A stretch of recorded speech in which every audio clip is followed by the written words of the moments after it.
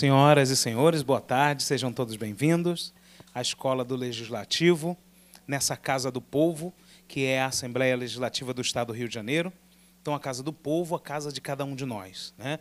Independente da nossa classe, da nossa cor, independente do nosso biotipo, independente da nossa religião, mas é a casa da acolhida de cada um de nós e é nessa casa que destina e que nasce todas as lutas em que a sociedade deve virar projeto de lei e deve virar ordenamento jurídico e ordenamento da sociedade, principalmente do Estado do Rio de Janeiro. Meu nome é Alcimário Júnior, sou presidente do Instituto Brasileiro de Gestão de Políticas Públicas, que, a convite da querida Rosângela Façanha, companheira de algumas lutas, estamos também vindo ser braço forte junto com cada um e cada uma de vocês nesse projeto de desenvolver e de chegar até o Conselho Nacional de Tecnólogos Esteticistas do Brasil. Né? A convite também da Assembleia Legislativa, representada aqui agora, nesse momento, pela nossa amiga Sueli Gava, a casa abre essas portas, a casa abre para o diálogo e a casa demonstra compromisso com cada um dos profissionais presentes nesse encontro e também cada um dos profissionais juntos com o sindicato e junto com o Movimento Nacional de Tecnólogos. Então, para que não fique só a minha fala, eu gostaria de trazer para essa mesa, como já está presente aqui, a doutora Jaqueline, do Departamento Jurídico do Sindicato das Tecnólogas. Gostaria de convidar a Rosângela Façanha, presidente do Sindicato das Esteticistas, Tecnólogos e Tecnólogas do Estado do Rio de Janeiro. Gostaria de convidar também o Rômulo Nascimento, representante do Movimento Nacional pró-tecnólogo. Gostaria de convidar também com muita felicidade essa minha amiga de muitas lutas e de muito trabalho, Sueli Gava, representando o gabinete do deputado Andrezinho Siciliano. E também convidar mais um apoiador e mais um parceiro de extrema importância para a categoria e também para os diálogos políticos no estado do Rio, de, do Rio de Janeiro, professor André Toríbio, da extensão da UERJ.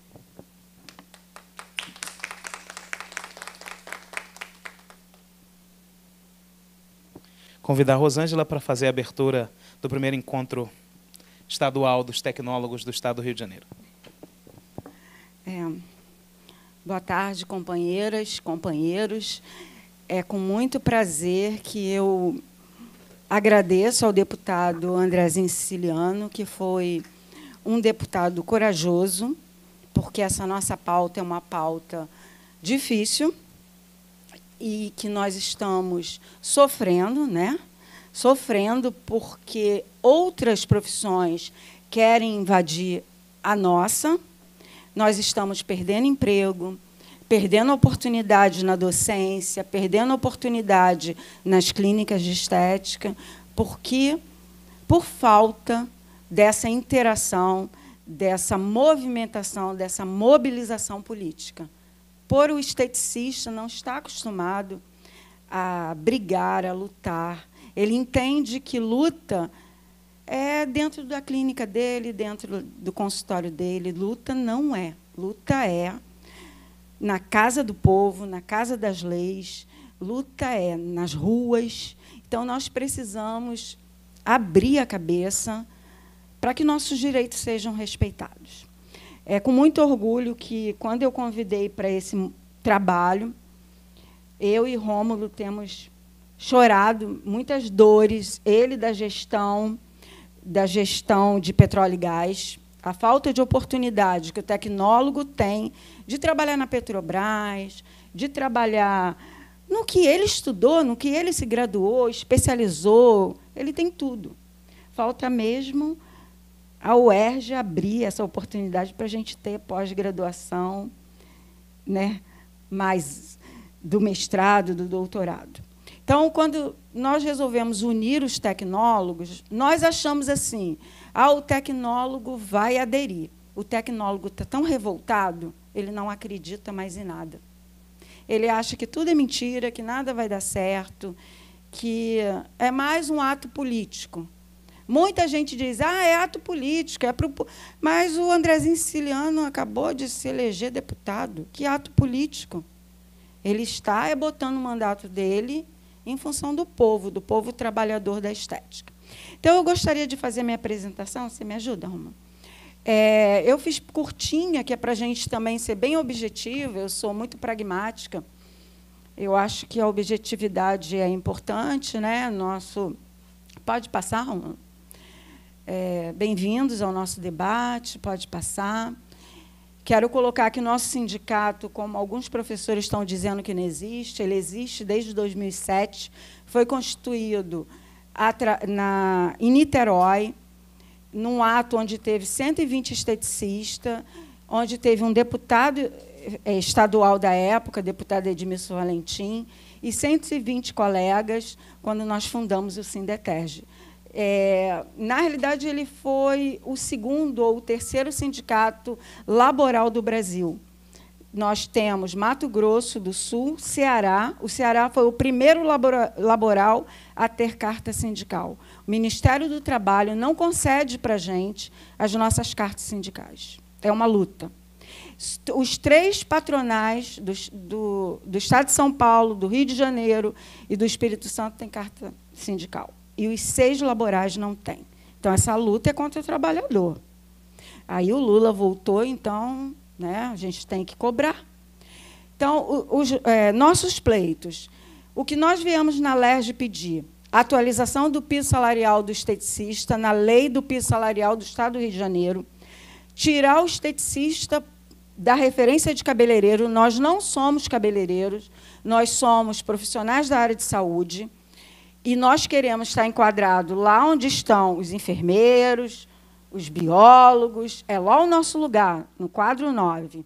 E colocar o técnico em estética, que merece todo o respeito, lá onde estão os técnicos de enfermagem, para ter o piso salarial do Estado. Até porque, até que nossa carta sindical seja expedida, a gente não tem como fazer acordo coletivo, a gente precisa da lei está atualizada para que as empresas contratem esteticista.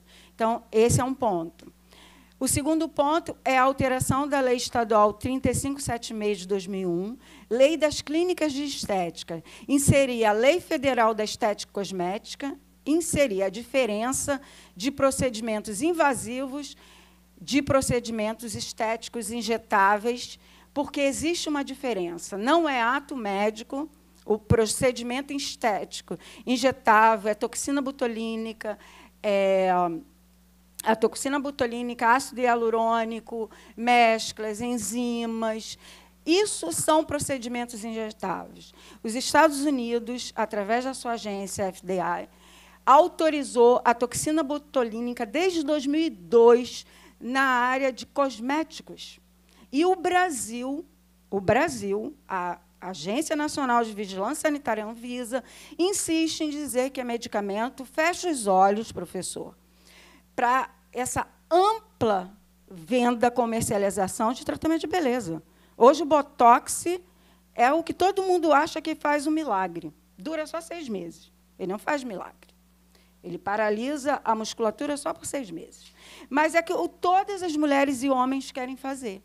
E como nós somos graduados na área de estética e cosmetologia, a Anvisa entende que é medicamento. Se é medicamento, que tem CID, tem o código para espasmo, para paralisia facial, nós entendemos.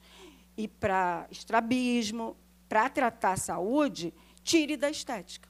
Se nós não podemos usar, ninguém vai poder. Entendeu? Porque se eu sou graduada em estética cosmética, existe uma lei federal que diz que eu sou o profissional e o meu companheiro técnico é o profissional que pode exercer a estética e cosmética no Brasil.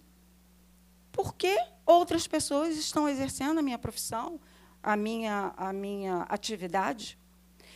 Por quê? Porque os meus colegas não gritam, os meus colegas não pedem, os meus colegas é, tem medo, e nós temos um lobby muito forte contra a gente, que é o mercado, a indústria cosmética. Ele hoje quer vender para todo mundo, biomédico, fisioterapeuta, e eles fazem essa propaganda e fazem com que o esteticista se sinta pequeno e queira ir lá fazer faculdade de biomedicina, que não é estética. E, com isso, o empresário está contratando o biomédico para ocupar o nosso lugar. E qual é a justificativa? Vocês não têm um conselho de classe. Vocês não têm um conselho.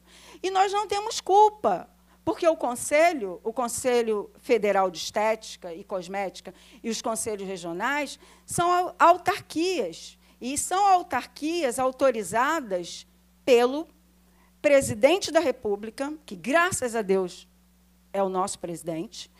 O presidente da República envia o projeto de lei do Conselho da Autarquia para o Congresso Nacional, que é aprovado e vira a lei do Conselho. Então, aproveitando esse ensejo de não ter conselho, vamos invadir, vamos passar por cima da lei federal. E o pior é que dizem para a gente: vocês é que não podem fazer. Você que não pode fazer. Revoltados, os esteticistas não querem mais isso. Eles querem, nós queremos os nossos direitos. Então, onde recorrer? Na casa do povo, na casa das leis. E nós já batemos em diversas portas. Eu, quando fui presidente da federação, na minha gestão, eu consegui mudar o CBO. Eu consegui, não, né? A instituição que eu representava, a FEBRAP. Mudamos, alteramos a classificação brasileira de ocupações, o CBO, Ministério do Trabalho. Conseguimos fazer uma audiência pública em 2009 na Câmara Federal. Conseguimos mudar. Conseguimos mudar o catálogo nacional de cursos, porque eles não queriam o MEC incluir o esteticista, porque tinha lobby de outros conselhos, de outras categorias, dizendo que o esteticista só podia ser técnico. E depois, que essa luta se deu, a gente conseguiu o curso superior, o curso técnico e tudo, a ousadia veio, dizendo: agora o docente sou eu. Eu, biomédico, eu, fisioterapeuta, eu, enfermeiro. Espera aí, na minha lei, no artigo 6 diz que só pode esteticista graduado exercer a docência, a supervisão, a coordenação de disciplinas, desde que tenha é, a base educacional. Faço uma pós-graduação, faço uma licenciatura de curta duração. Ok, nós saímos fazendo pós-graduação. E, mesmo assim, as universidades não nos dão o nosso emprego, doutora Jaqueline. Aí diz assim: não, o estudo de vocês é pouco. Por quê? Colocaram a gente na área tecnológica, com 2.500 horas de estudo. 2 mil horas mínima, até 3 mil horas. Mas quando eu estava lá, em 2003, 2004, 2005, discutindo com o MEC, no governo do meu presidente, do meu partido, quando eu estava lá discutindo, foi dito, Rosângela, a área tecnológica é a inovação.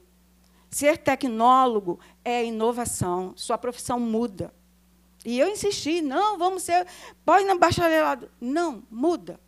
Depois vocês podem fazer mestrado, podem fazer doutorado, podem fazer pós-lato senso. Tá bom, convenceram a gente. E nós aceitamos. Porque também, se não aceitasse, Alcimário, a gente não teria graduação. Vamos lá, aceitamos. E depois, agora vocês não podem, vocês não têm é, lei regulamentadora. Pô, vamos para o Congresso Nacional lutar pela lei. Vamos lá. E chama deputado e tal, até que a gente conseguiu a Comissão de Legislação Participativa da Câmara Federal. A comissão conseguiu tramitar nosso projeto o tempo todo. Quando chegou no ponto do plenário, a deputada entrou, uma deputada entrou e modificou o nosso projeto. Trocou o projeto 959 pelo texto dela, pelo projeto dela nós fizemos o quê? Se ela tem força para aprovar esse projeto, o que, nós vamos fazer? Nós vamos recuar e deixar ela avançar.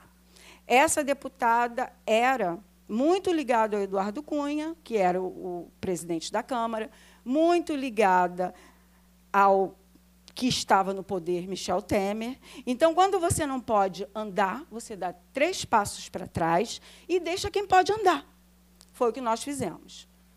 Se a deputada vai conseguir, deixa que ela ande. O projeto passou, foi para o Senado Federal, foi para a é, senadora Ana Amélia, mudou o projeto, que a deputada tinha feito na Câmara, fez algumas alterações no projeto e ele passou. Foi para a Câmara, queriam mudar o título do projeto para botar esteta, e na Câmara voltou esteticista e cosmetólogo de nível superior.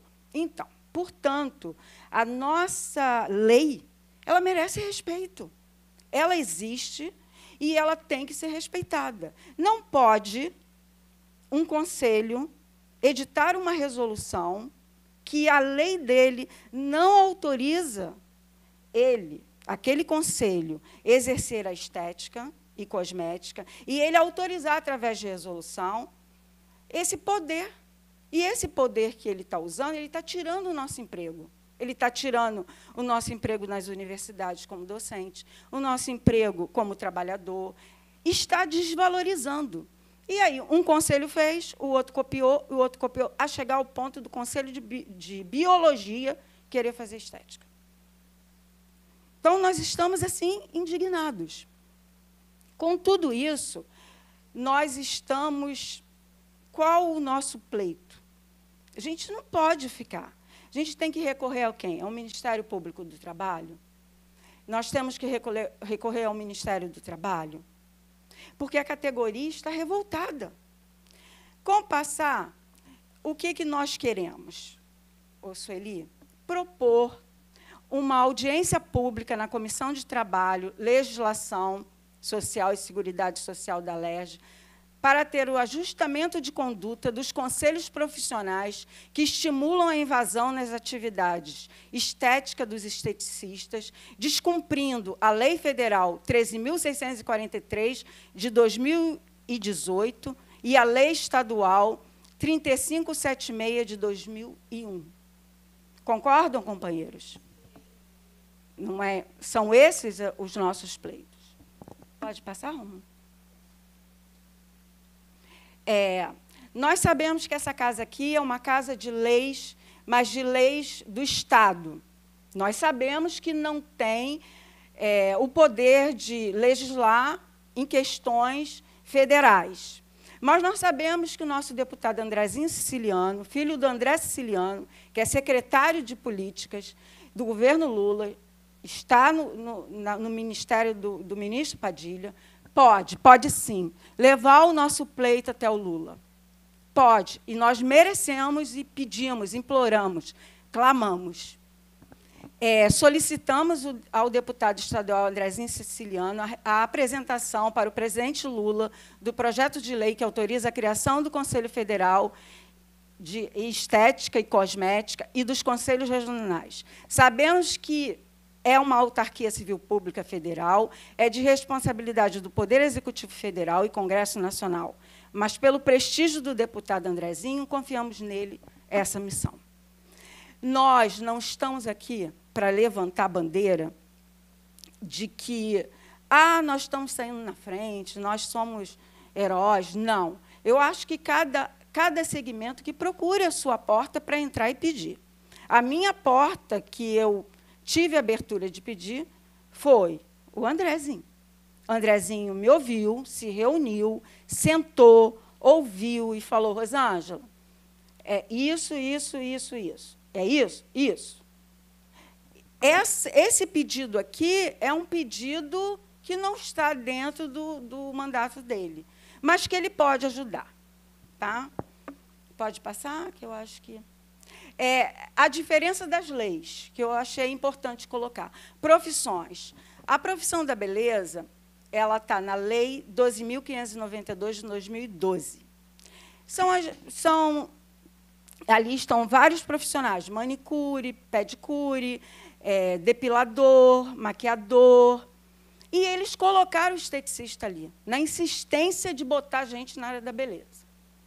Só que nós continuamos o nosso trabalho, que a gente não, não queria área de beleza, nós somos área de saúde.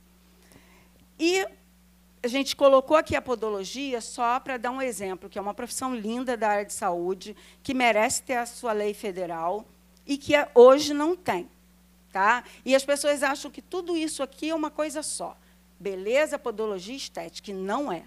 E a gente coloca aqui a lei da estética. Provocativamente, nós colocamos aqui um getave. para questionar por que, que nós não podemos fazer, se são procedimentos que nós temos a graduação, estudamos anatomia, fisiologia, histologia, estamos preparadas, somos pós-graduadas. Por que não? Por que eles dizem que eles podem e o esteticista não pode? Então, essa é uma questão que nós debatemos com o deputado e que a gente quer que mude na lei do Estado. Não para privilegiar só o esteticista do Estado, mas para é, abrir para que todos os outros estados façam a mesma coisa. Pode passar, Romulo? Conselhos profissionais da saúde que hoje estão atuando com resoluções biomedicina, enfermagem, farmácia, fisioterapia, biologia e odontologia. Resoluções que autorizam exercício profissional na área de estética, extrapolando o campo de atuação. Todas essas resoluções foram suspensas pela Justiça Federal por ações em face desses conselhos profissionais, através do CFM, do Conselho Federal de, de Medicina, através da Sociedade Brasileira de Dermatologia, através dos Conselhos Regionais de Medicina, inclusive o CREMERG, no Rio de Janeiro.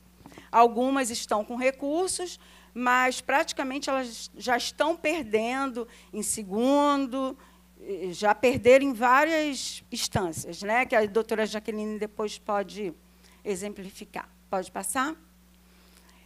Invasivo estético. Nós queremos colocar aqui bem claro ô Sueli, que invasivo estético, que está na lei do médico, é cirurgia plástica. A gente entende que é cirurgia plástica, porque a presidente Dilma vetou o que era injetável. Mensagem do veto 287 de 2013. A presidente vetou injetáveis que tinham a ver com vacina, não poderia ser privativo do médico, senão só o médico poderia fazer certos procedimentos, inclusive a vacina. Pode passar? Aqui, professor, agora é para o senhor. O catálogo do MEC, os cursos superiores e técnicos de estética e cosmética. Nós temos esse catálogo, que é a edição de 2022. Ele foi para consulta pública, ele foi totalmente finalizado e o ministro não publica não publica. E aí o, a, o, catálogo, tem uma companheira de São Paulo, do Sindicato de São Paulo, que foi lá, fez parte da equipe, e ela conseguiu colocar intradermoterapia, que são os, injetáveis, no nosso catálogo. O INEP, que faz a prova do ENAD, colocou farmacologia estética como disciplina, intradermoterapia, injetáveis. E o Conselho de Biomedicina do Paraná foi até o INEP pedindo para tirar. Por quê? Não sei qual a intenção dele. Então, aqui tem a diferença, 1.200 horas do técnico, do catálogo do técnico já está publicado, já está tudo certinho, e da graduação. Pode passar?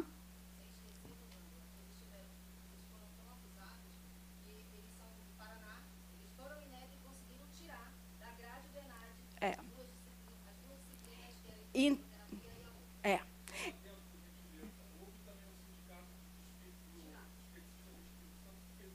Sim, sim. O, é, o que aconteceu é que a, o Espírito Santo, eu não sei porquê, eles entendem, e já teve muita discussão comigo com a Erondina. Erondina é uma companheira muito. Eu acho que ela não entende ela não entende o que é injetável. Ela não conseguiu entender que invasiva é uma coisa injetável é outra. E ela foi, ela é uma companheira muito forte do Espírito Santo, ela tem uma atuação muito grande no PT. Ela já sentou com o ministro para conversar. E tem coisas que atrapalham a gente. Por quê?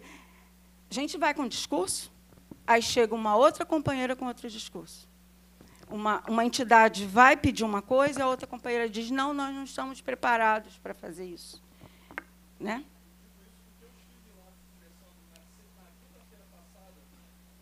Sim, eu até gostaria de te apresentar. Esse aqui é o advogado da, da Nesco, né?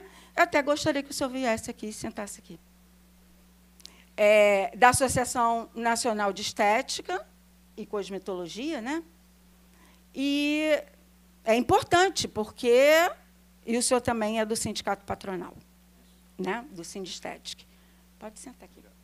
Então, é, a minha parte é essa. Acho que terminou, só tenho os dados. A minha parte é essa. E eu acho que isso aqui que eu falei, todas vocês já sabem. Eu acho importante para o professor André, para a Sueli, para a doutora Jaqueline, o, o doutor Danesco não precisa, Frederico. O doutor Frederico não precisa, porque ele conhece a causa. E, a partir de agora, doutor Frederico, a gente quer que a LERJ mude a lei do Estado. E, na lei do Estado, coloque a lei do 13.643 e coloque a diferença de injetável para invasivo, na lei. Colocando essa diferença, não tem mais como ter confusão. Ah, isso é invasivo, porque os juízes estão dando é, ganho de causa para o CFM, dizendo que é invasivo, sim, já estava invasivo. É. Não, eles sabem, né? Eles criam uma nomenclatura legal que não existe, que é o procedimento minimamente invasivo. E a gente sabe que a lei do ato médico, ou o procedimento, ou é invasivo, sim. que é aquele previsto no artigo 4 parágrafo 4 inciso 3, ou é não invasivo. Sim não existe essa nomenclatura jurídica de procedimento minimamente invasivo. Então, o, o, o, trabalho tem que ser feito no sentido de levar ao judiciário esse conhecimento, porque, na maioria dos casos, promotores de justiça se valem de normativas que nem se. Que, que, eu não digo nem que são infralegais, porque o Conselho Federal de Medicina, os Conselhos Regionais de Medicina legislam por meio de pareceres. Inclusive, a gente teve acesso ao parecer 16 de 2011. Não, parecer do Conselho Federal de, de Medicina, que diz, pasmem, que drenagem linfática é procedimento invasivo.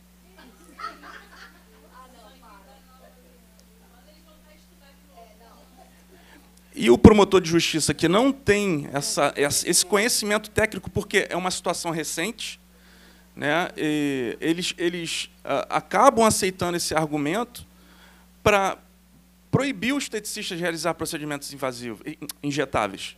Até a gente tem essa minimamente invasivo, não existe, gente. Não existe minimamente invasivo. Os esteticistas se divulgam no Instagram com erro. Minimamente invasivo é invasivo. Invasivo é cirurgia plástica. Então, tem que entrar na lei né? essa diferença. E o último ponto, é, doutor André, é que a gente quer que a UERJ olhe para a gente. E que abra essa porta dessa universidade pública do Estado do Rio de Janeiro, para que a gente possa ter o estricto senso, a pós-graduação. Porque não é justo a gente ficar fazendo pós-graduação de, de, de educação, é, mestrado em educação, mestrado prática de docência, é, ou, ou, ou qualquer ciências da saúde, e não ter o mestrado em estética e cosmética. Nós somos o terceiro país mais consumidor de cosmético no mundo. No mundo. Nós estamos atrás dos Estados Unidos e da China. Então, o Brasil não pode pegar uma mão de obra que está é, regulamentada, que está preparada educa educacionalmente, não pode pegar essa mão de obra e fingir que ela não existe. Então, estão usurpando os nossos direitos, doutora. É usurpação de competência. Estão atrapalhando. Não, nós temos uma lei. Então, como, como no caso aqui, o doutor Frederico, ele representa uma associação nacional. Nós somos um sindicato laboral do Estado do Rio de Janeiro. Nós não podemos. Eu já pude, porque eu já fui presidente da federação, eu já trabalhei, já fiz minha parte lá, desde quando a gente fundou 2003. Só que agora não é minha função ir a Brasília. Não é minha função ultrapassar foi o que a presidente do Espírito Santo fez errado. Ela deveria ter feito como nós estamos fazendo aqui. Cuidar do Estado, conversar com a Assembleia Legislativa do Estado. Ela pode até usar os conhecimentos dela, as articulações, mas ela disse que ela teria mais chance de conseguir o conselho. E quem conseguiu o conselho para a gente é vitorioso. Teve um detalhe também importante nessa situação da, da suspensão da portaria 295 do INEP, que o, o fundamento que tanto a Noêmia como a Erondina utilizaram foi a nota técnica 15 de 2023 da Anvisa, que estava suspensa e que foi republicada agora no, no início de fevereiro de 2024, que é a nota técnica 2 de 2024. E uma das situações que a gente foi resolver em Brasília na semana passada foi justamente buscar uma reunião novamente com a direção da Anvisa para suspender de vez essa nota técnica que engessa completamente o trabalho do esteticista, pois ela confunde o pessoal do embelezamento da CBO 5161 com o pessoal da CBO 322130, que é a de estética. É, a gente sabe que o pessoal de embelezamento, para poder atuar, não desmerecendo, mas a, o, o, grau né, de, de, de conhecimento básico para você atuar com embelezamento é ensino fundamental incompleto. Já o do esteticista, o grau mínimo é o, o técnico, o curso técnico com concentração estética. Então, é, é a Anvisa confundiu absolutamente as profissões invadindo mais uma vez uma competência que não é dela, ela cria é, figuras de proibir o esteticista, por exemplo, de realizar procedimentos injetáveis, quando, na verdade, isso é uma função do Conselho. E a própria nota técnica 2 de 2024 traz, dentro de seus argumentos, o parecer 97 de 2007 da Procuradoria da Anvisa, que, que diz que a Anvisa não detém competência para legislar assuntos profissionais. A competência da Anvisa é estritamente sanitária. Então, Exatamente, ela não tem como dizer, ó, oh, esteticista você não pode fazer isso. Ou você pode fazer isso. Ela não detém competência nenhuma para isso. Isso é uma função, uma prerrogativa exclusiva e indelegável do conselho profissional. E como o conselho não foi criado, a gente fica nesse, nesse limbo jurídico, nessa nebulosa jurídica, sofrendo fiscalizações abusivas por parte de conselhos profissionais que não nos representam, é, Outros conselhos que criam resoluções, aí sim, criam resoluções. Criam resoluções que, que criam resoluções que acrescentam competências a essas, essas outras áreas, como biomedicina, enfermagem, farmácia, fisioterapia, biologia, odontologia. A gente está até agora sabendo até que veterinário está querendo fazer estética. É, ele estava operando, aí é diferente. Né? E. Não, claro. É importante colocar que eu acho que o professor André está estarrecido. É importante colocar que hoje as pessoas estão é, exercendo sem, sem formação nenhuma. Em Nova Iguaçu teve um eletricista fazendo cirurgia plástica.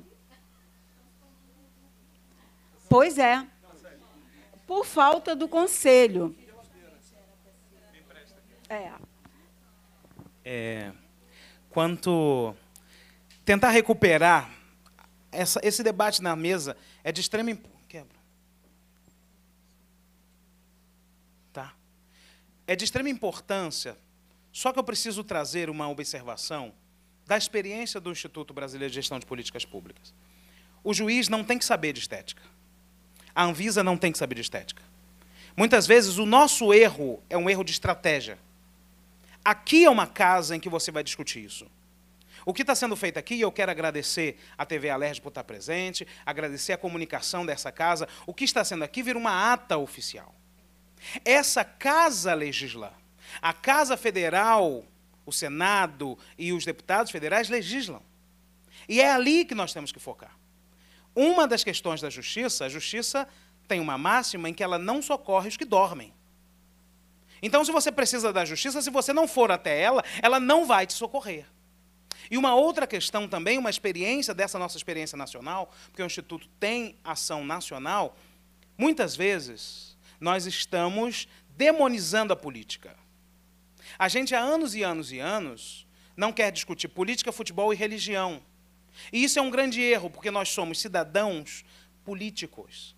A criança, quando nasce e chora com fome, ela está naturalmente reivindicando o direito dela de se alimentar e reivindicando a quem de direito tem que alimentá-la. Responsável, pai, mãe ou aquele que está criando. Então, muitas vezes, a gente está mirando o nosso foco em outras questões, a Anvisa não vai te responder, porque ela não tem que te responder.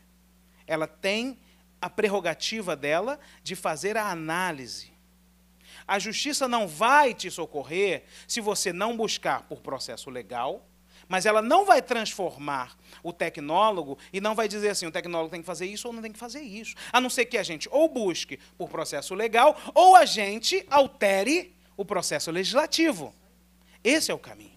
E é por isso que a gente tem nessa mesa, a gente coloca a Assembleia Legislativa nessa mesa, a gente coloca a Universidade do Estado do Rio de Janeiro nessa mesa, a gente coloca o sindicato, a gente coloca o movimento, e aqui, que bacana que chegou os dois sindicatos, o patronal e o laboral. Então, essa é a voz sinérgica para que a gente consiga, então, essa alteração. E aí, nesse sentido, eu queria convidar a Sueli né, como representante do deputado Andrezinho Siciliano aqui, para dar a sua, a sua contribuição, na espera que o deputado também está chegando. A gente tem outros assessores do deputado aqui presentes, né? muito obrigado. Também queria anunciar a presença do, da CONEM aqui, através do senhor Alciberto Abílio, obrigado, viu? É, também braço nessa luta, além da, do convite feito à, à, à, Central Única dos Trabalhadores, né, que deve, que não sei se, se, se, ainda chega, mas também está de mãos dadas nessa luta. Né? Então, Sueli? Depois dessa fala do Alcimário, não tem mais o que falar, né, gente? Estamos na Casa do Povo, né? aqui eu falo que é a Casa Comum. Eu me lembro muito do nosso presidente Lula, que ele dizia que você possa ser as minhas pernas quando eu não puder andar, puder andar, e a minha fala quando eu não puder falar. Como o nosso deputado André Siciliano está em uma agenda, ele vai chegar, é, eu fico feliz né, de saber quantas lutadoras, quantas guerreiras e quantos guerreiros estão aqui na busca de leis, de projetos de lei que vai realmente é, dar dignidade para o cidadão. Né? É como o Alcemário disse, se a gente não for atrás, a gente não vai conseguir. Eu estou sempre na ponta, estou sempre na Baixada, estou sempre lá ouvindo as pessoas, faço parte do Fórum Grita Baixada, onde a gente grita por dignidade para todos. Então, é isso, a gente está nessa casa para atender a necessidade dos, dos cidadãos, dos, dos profissionais, cada um na sua área, cada um no seu quadrado, para que a gente possa valer, fazer valer o nosso salário digno no final do mês. Né? Todo mundo quer ter seu dinheiro, né? Todo mundo quer ter dignidade. E dignidade é isso, é através de leis. E vocês estão nessa casa, sejam muito bem-vindos. Tá? Meu nome é Sueli Gava, sou assessora do André Siciliano, já fui assessora do André Siciliano pai, hoje do Andrezinho. Então, quando quiser tomar um café, o gabinete é 1301, no 13º, a Rua da Ajuda, número 5, né? e no 13º andar. Vocês são, vão ser sempre muito bem-vindas. E eu agradeço a oportunidade de estar aqui sendo essa voz junto com vocês. Pode contar com a gente.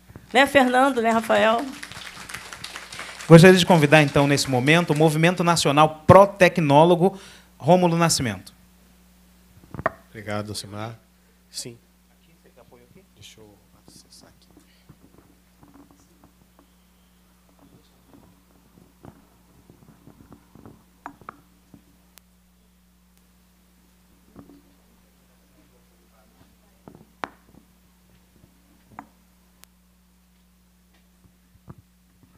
Boa tarde, gente. Em primeiro lugar, agradecer a eminente banca, né, muito bonita aqui, presente.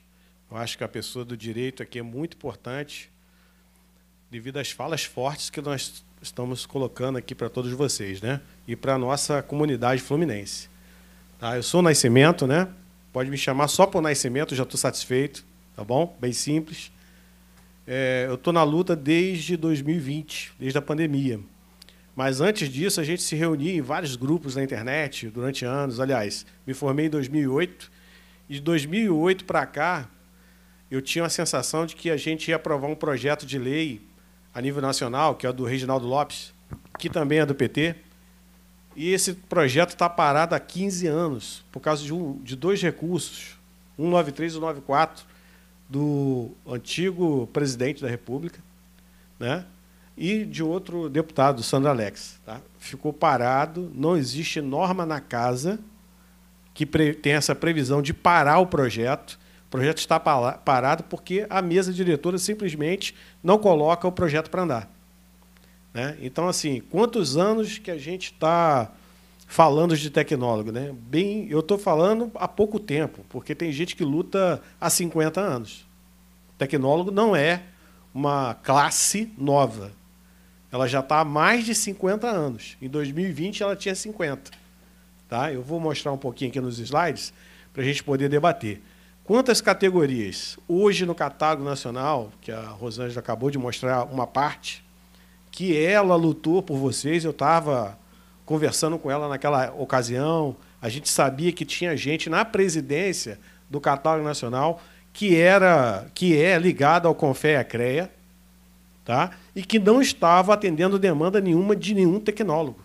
Eles colocaram os tecnólogos deles, que são pessoas que se alimentam do conselho de classe, têm cargo. Eu fiz várias denúncias na internet, mandei para deputados, mandei para senadores falando sobre isso.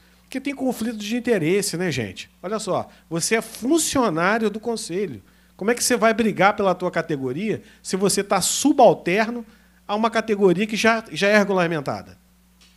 Né? Então você não vai brigar. Então tem gente que coloca a farda de tecnólogo, mas não é. E não vai lutar por vocês. A Rosângela vai. Rosângela eu conheço ela desde 2020.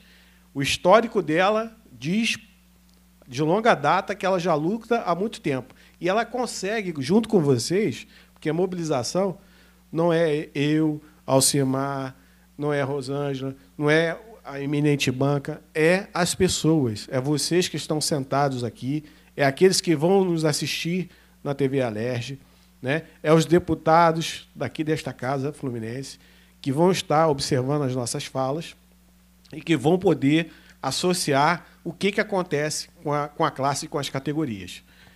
Pode passar, meu amigo.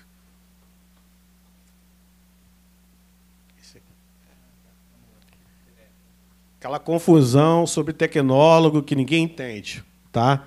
O engenheiro me ajudou. O engenheiro Manuel Mota foi presidente do Confé CREA, lá do Ceará. Eu converso com muita gente no Brasil todo. Ele participou, Rosângela, daquele nosso evento. Tá? E a gente chegou nessa, nessa ideia de que o tecnólogo é um sniper. Né? Ele não estuda pouco, isso é ilusão. Não se pode dizer que os tecnólogos estudam poucos, baseado em horas.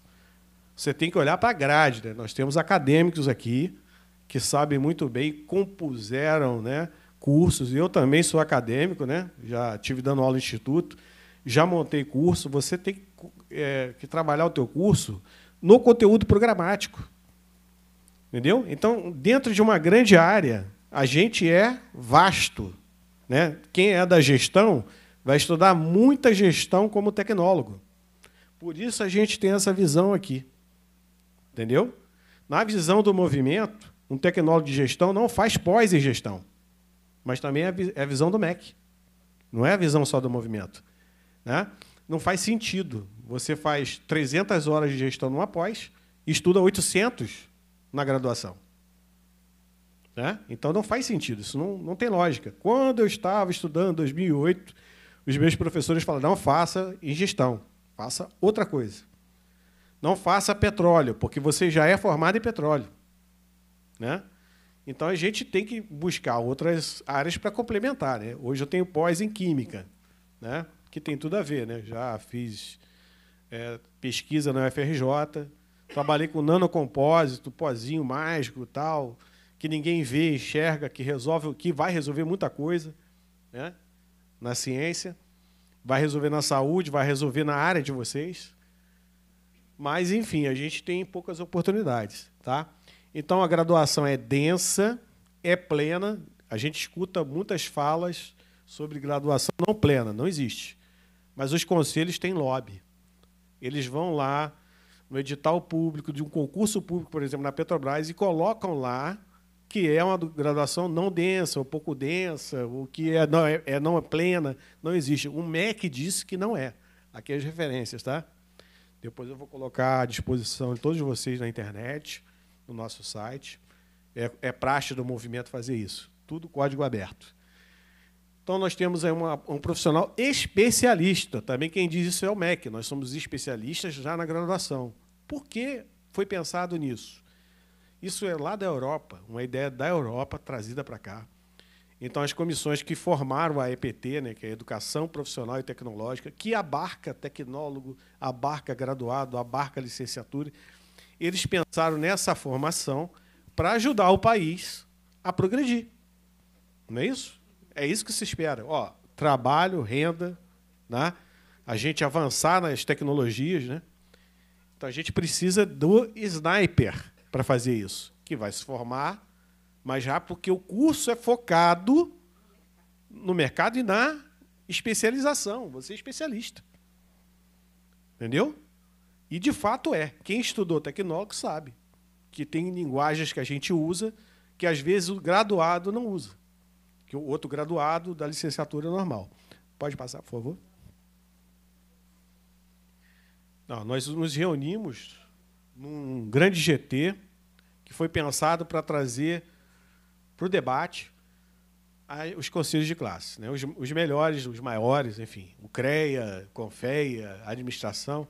O CREA não quis, que queria, iam bater de frente um com o outro, mas a gestão foi. A gente mobilizou um monte de aliás, gestão não, administração, né? Que o gestor, o gestor mesmo é o que faz pós-graduação e, e, o graduado tecnólogo que é gestor. Mas não tem lei ainda. Né? Precisamos conversar sobre uma lei, é, e muito legal a gente falar sobre lei aqui na Casa das Leis. Lei federal ou lei ordinária é ela que manda. Né? A gente está vendo aí resolução de conselho. Ela é uma particularidade dentro do conselho para aquele profissional em que a lei ordinária criou, foi, criou a, as atribuições dele. O tecnólogo de petróleo e gás tem que estar no CREA? Não. Não tem previsão legal. Então, não cabe ao CREA fazer esse, esse tipo de celeuma, que ele já faz há, há 30 anos, né, de trazer. O Conselho de Biomedicina tentou fazer com a gente. Sim. Para isso, o sindicato é muito importante. Por quê? Porque quem defende o trabalhador é o sindicato. Então tem que se entrar na esfera civil com ação para poder reverter isso. A gente já tentou algumas esferas também, o MNT também já tentou, federal. Mas a prerrogativa é do sindicato.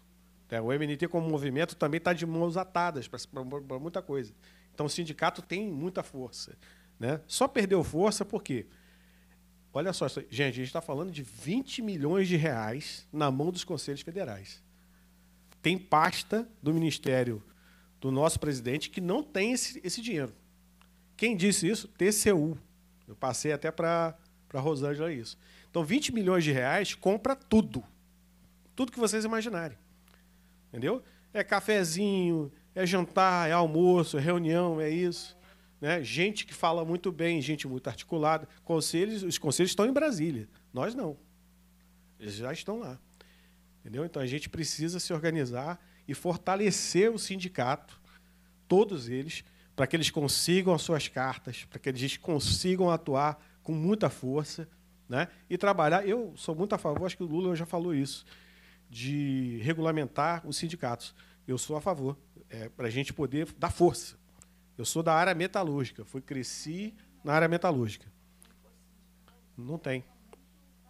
Cortar a, a, o dinheiro, você corta as pernas de qualquer coisa. Isso foi feito no governo Fernando Henrique, né? Eu, eu sou um garoto de 50 anos, então eu, eu passei por tudo isso aí. Então, olha só, gente, na pauta a gente intensificou o debate em defesa do projeto de lei 2245 de 2007, que regulamenta todos os tecnólogos. Mas tem coisas nesse projeto que a gente não gosta, que a gente não queria que estivesse lá. mas dá para reverter no Senado. Se não for o caso, se o deputado Reginaldo não se reeleger, esse projeto vai entrar para arquivamento e vai morrer.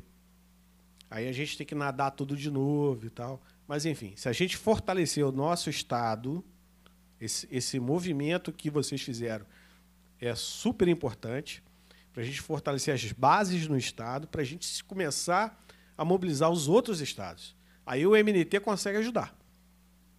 Entendeu? Mas aqui também nós vamos ajudar. Tá? Então a gente colocou algumas pautas. Essa aqui entrou, pasmem, entrou como é, uma, uma dádiva do Conselho para os profissionais que estão registrados no Conselho. Exato. E a gente não pediu isso. A gente mandou ofício, papel e tudo. Não era isso que a gente queria. A gente queria uma parceria. A gente não queria escravidão. Entendeu? Então, assim, conselho nenhum deve mandar no tecnólogo se não for o caso, se não tiver lá. Nós temos um conselho aprovado, que, que tem, aliás, um tecnólogo, uma classe, uma categoria que está com, com, com lei estabelecida, que é o documentalista, que era o antigo despachante, conhecem? Ele agora só pode exercer a profissão como tecnólogo documentalista. Quem estava antes foi incorporado. E foi no, no governo passado. Eles tinham força, sindicato forte, organização, dinheiro, sem dinheiro não se faz nada, tá? Tem que ter arrecadação, nem que seja cinco reais, tá? Para que a gente possa levar as pessoas para Brasília. É lá que a coisa acontece. Estou falando a nível federal. A nível estadual é aqui, nessa casa maravilhosa, com esse espaço muito bom e com pessoas que estão aqui para poder atender. Vamos lá para a próxima?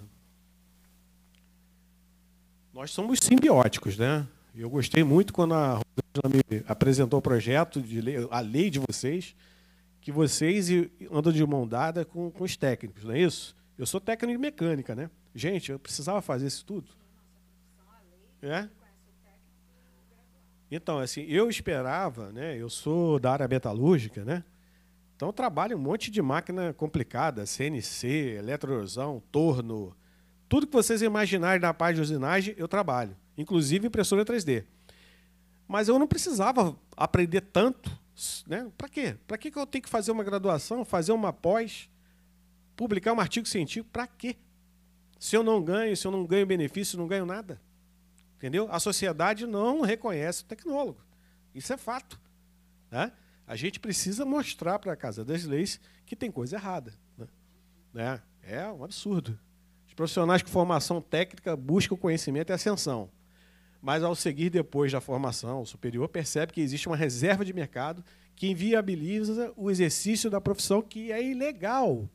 Veja, o artigo 5 da Constituição, no seu artigo 13, né, se não tem lei dizendo, restringindo aquele profissional, a, o exercício é livre. Estou resumindo, tá, gente?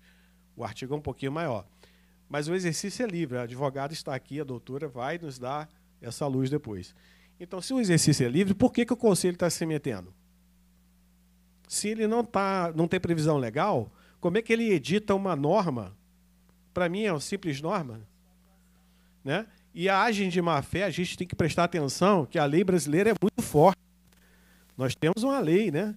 Até mostrei aqui para o Alcimar, que tem um artigo aí, acho que é, 2219, não lembro. É, depois eu vou passar para a doutora comentar sobre isso. Que se você pega uma parte de um texto, outra parte de um texto, para querer mostrar que ali existe uma lei, você comete crime. Correto? E isso a gente tem que combater. Como é que combate? Processo. Mostra quem, quem fez o crime, por que fez, e, e vamos processar e começar a ganhar essas causas, porque está previsto. Então a gente tem que provocar a justiça para que as coisas aconteçam. Tá? Tecnólogo registrado em conselho de outras profissões regulamentadas está ilegal.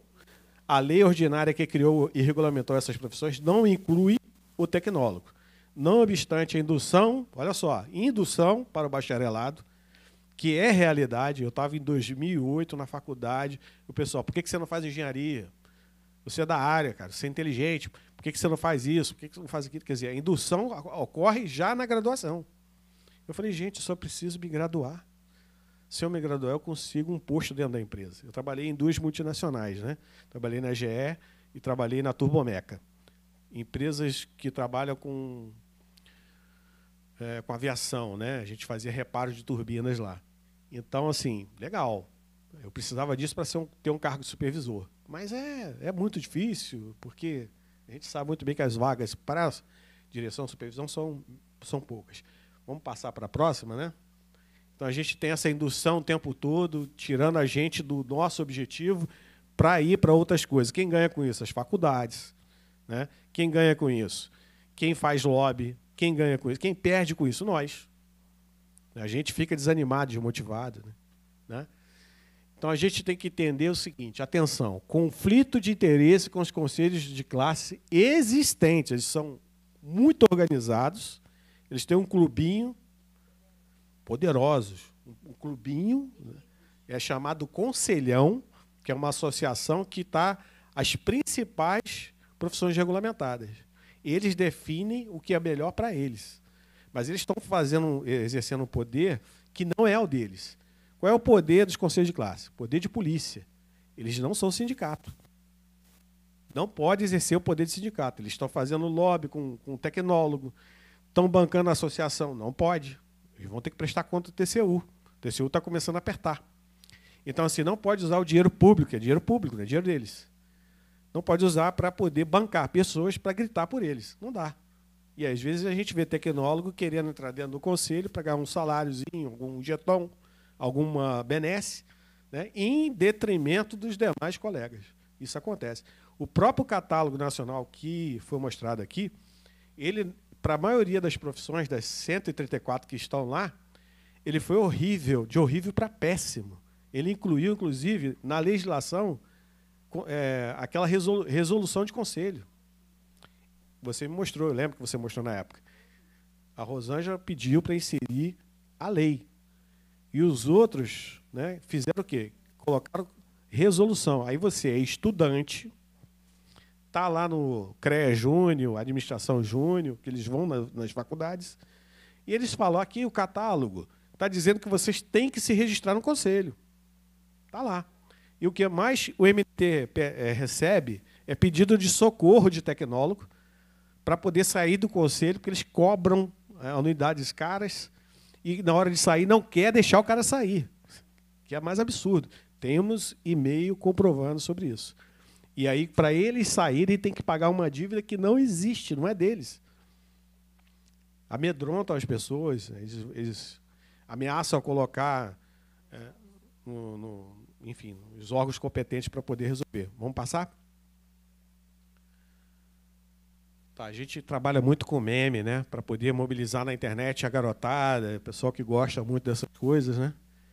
O que, que a gente preza? A isonomia. O MNT, o Movimento Nacional, entende, entende que quem é competente pode fazer o trabalho, né? Quem definiu isso? O próprio diploma dele, né? E a aprovação do curso no MEC está lá definido lá, né? É eles é definido lá, aprovou pelo MEC. Então você, o conselho de classe reconhece a competência daquele profissional baseado no currículo. É o que tem que ser. Pode ter mais de um na nossa visão, mais de um profissional fazendo a mesma coisa, se não for privativo em lei, pode. Se não for privativo, pode. Né? E se o profissional tiver competência, o eletricista não vai fazer o que vocês fazem, não pode. Ele não tem competência. Né? Não pode fazer isso. Eu sou técnico em mecânica, não posso atuar na elétrica. É outra área. Não tem cabimento isso. Né? Então a gente tem outras questões que às vezes a gente passa, eu já passei muito por isso. Tu está falando que não gosta de tecnólogo, aí o cara né, logo fala, né? Curso de curta duração não tem valor para mim. Em pleno século XXI, você agindo com preconceito babaca, né? Não aceite, estudei cinco anos, sou registrado e melhor que você. Cansei de ouvir isso. Reportagem na TV. Entendeu? Sou melhor que você. Eles falam assim. Tá? estudou lá, tem uma grade e, e, e acha que tem uma grade grande e se acha especial. Não é assim, não. Né? Então, aqui nesse exemplo, ele falando, tá, tu tem razão, eu vou fazer uma pós e vou me especializar. Porque ele não sabe. Entendeu? Mas o empoderamento, é, porque tem uma, uma profissão legalizada, regulamentada e um conselho de classe, é muito grande. Tem lobby, o conselho de classe gasta fortuna com propaganda e marketing. Tá? Já ouviram, essa, já ouviram falar nisso? EPT? Todos nós estamos nela. Tá? Educação profissional e tecnológica. Então, se você faz um curso livre, por exemplo, né? É design de sobrancelha, acho que é livre, né? Curso livre. Design de sobrancelha. Tá? Quem é o profissional que pode dar o treinamento? É o profissional que está qualificado para isso. Tem uma lei específica para curso livre? Não tem. Ah, mas aí tem uma, uma lei lá de estética que prevê isso. Se a lei de estética prevê, então tem que se atender à lei de estética. Sempre a lei é a mandatória. Tá? Então a EPT ela engloba tudo isso, nos garante o, o, o estudo sequencial. Você começa com estudo técnico, vai para a graduação tecnológica ou para outras graduações. Você é livre para escolher, é assim que tem que ser. E mestrado e doutorado. Gente, quantos doutorados ou mestrados nós temos para tecnólogo no Brasil? Vocês sabem? Para tecnólogo, 134 categorias. Quantas tem?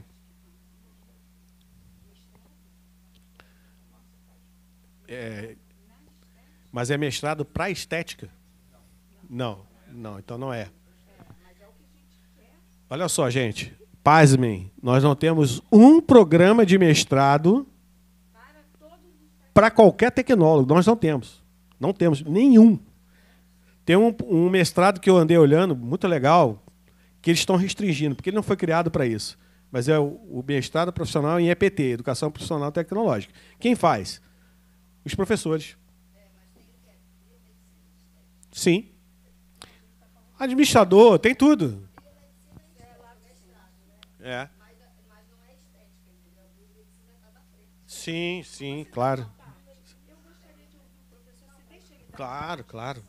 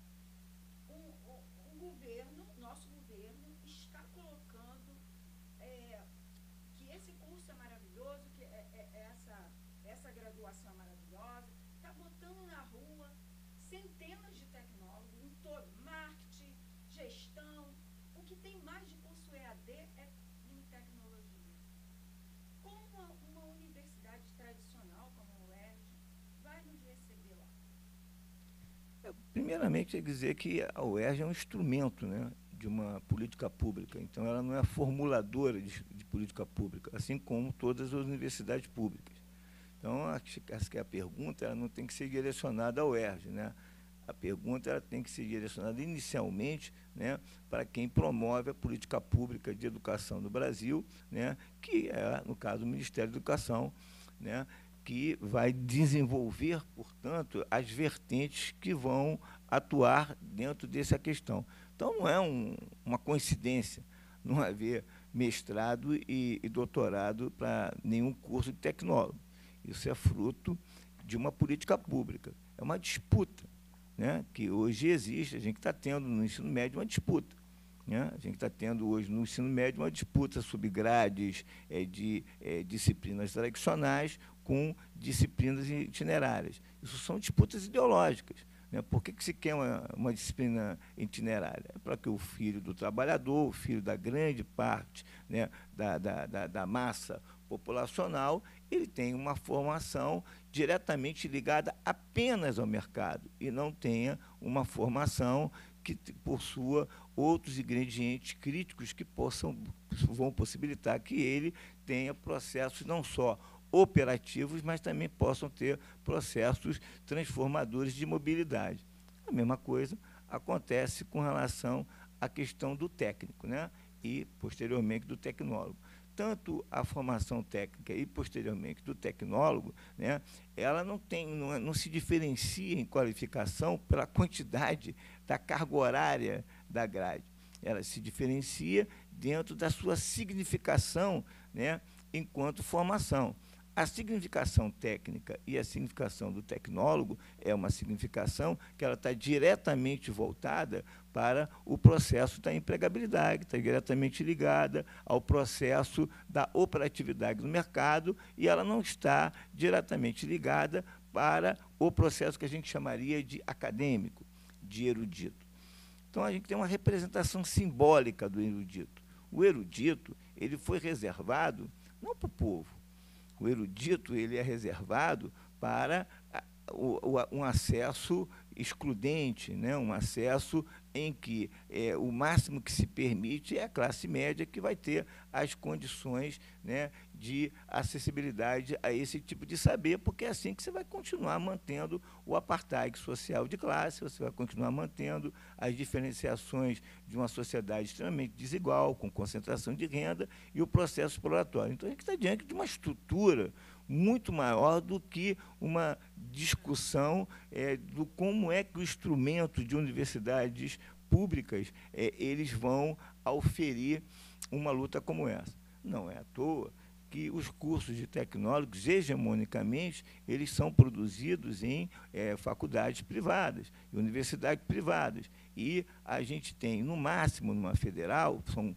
cursos de politecnias, né, que a gente pode desenvolver, e na própria UERJ a gente também possa desenvolver isso. Então, você está me apresentando uma situação que ela não é uma perspectiva de como a UERJ vê, é uma perspectiva de como é que a UERJ, uma universidade com histórico de comprometimento de luta popular, uma universidade que já levantou e hoje é uma, foi uma das pioneiras e hoje é um dos maiores exemplos da política de cotas, da política de inclusão, da política de popularização do ensino superior para famílias que nunca tiveram acesso à, à entrada na carreira de graduação. Hoje a gente tem na UERJ diversos exemplos de filhos de trabalhadores que foram os únicos que entraram na universidade, fizeram mestrado, fizeram doutorado e hoje estão dando aula na UERJ.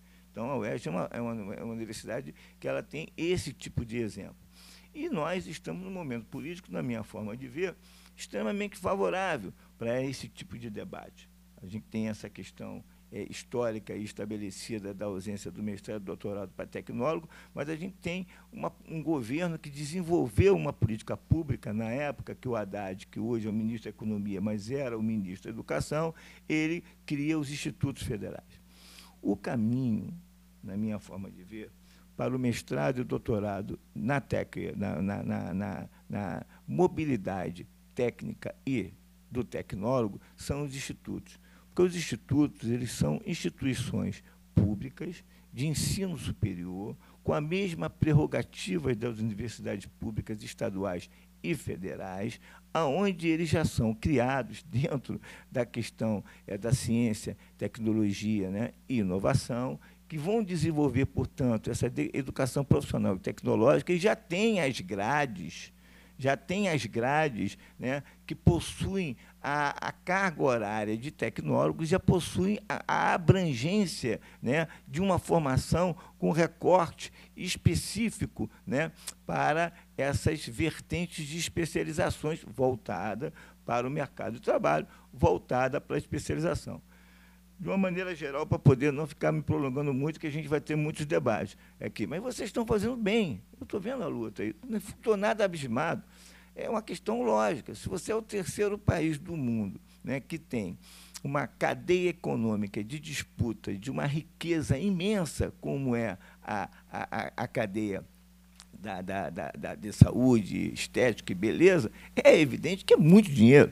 E aonde tem muito dinheiro, tem muita disputa, tem muito interesse e tem a briga para ter as reservas. As discussões se é invasivo, meio invasivo, não é uma discussão pueril que você não vai encontrar com o juiz, você vai encontrar com o promotor, que você. Isso é óbvio. Por quê?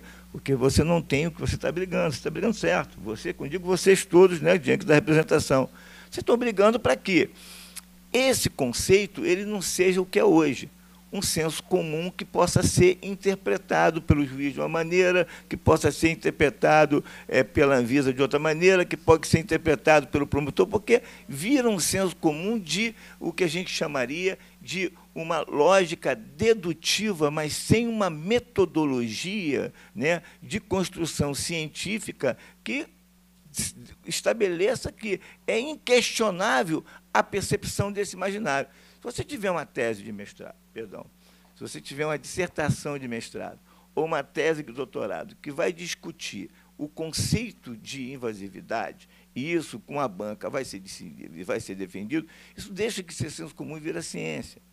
E, ao virar ciência, isso vai estar, evidentemente, sendo colocado no processo pericial e não tem achar de juiz, em suma ele não vai poder trabalhar o julgamento da lei com subjetividade e não vai poder utilizar a questão da referência do seu entendimento em senso comum, entendeu? Porque você terá todos os recursos amplos para demonstrar que, cientificamente, aquela expressão invasividade ela tem uma determinada abrangência e ponto. Em suma, isso vem da Revolução Francesa. Tentaram, na época desse governo anterior, aí, que passou desde o golpe de 2016 até a grande vitória civilizatória que a gente teve agora em 2022, a gente conseguiu interromper isso, tentaram é, destituir essa lógica da ciência, que é uma coisa que vem da, do Renascimento e foi amplificado na, na Revolução Francesa, e se conseguiu é, evitar que a pós-verdade, pós-verdade ela vingue. Então, para te responder agora de maneira objetiva, você tem uma luta hoje que ela está no âmbito estadual. Quando eu digo vocês, eu estou sempre falando por causa da representação. Vocês têm uma luta hoje que está no âmbito estadual e que ela está também sendo propagada no âmbito federal. Vocês estão trabalhando a briga de reserva de mercado com os conselhos, perfeito. Vocês estão trabalhando a perspectiva jurídica, a nossa doutora vai colocar daqui a pouco como é que essas esferas vão ser estabelecidas, que tem que judicializar mesmo para você poder fazer com que a lei seja aplicada. Vocês estão aqui na Alerj para quê? Para que as leis fiquem cada vez mais claras e não deixem qualquer tipo de, de abertura subjetiva para o judiciário fazer interpretações sobre o que a lei é, determina. Então, as brigas estão perfeitas e também estão mobilizando a categoria politicamente, que é a única maneira, né, foi a fala brilhantemente colocada sobre a questão de como a mobilização é importante. No âmbito que me cabe, que vocês me, me convidaram. A minha visão sobre tudo isso que estão colocando é fazer da UERJ um instrumento né, de debate acadêmico sobre a questão. Então, a gente é o que eu posso ajudar. Né? O que eu posso porque a UERJ ela não tem dono. E por isso que é uma universidade. Né? É uma universidade pública, ela, ela é um campo da diversidade, ela é um campo das discussões das pluralidades, ela é um campo de discussões que, portanto, as perspectivas não vão ser defendidas apenas com paixão, elas vão ser defendidas com a civilidade de convivência das diferenças e com as perspectivas que possibilitam que essa diferença tenha um espaço, tenha um espaço, que é o espaço que a gente chama de público laico e de qualidade. Universidade é isso. Né?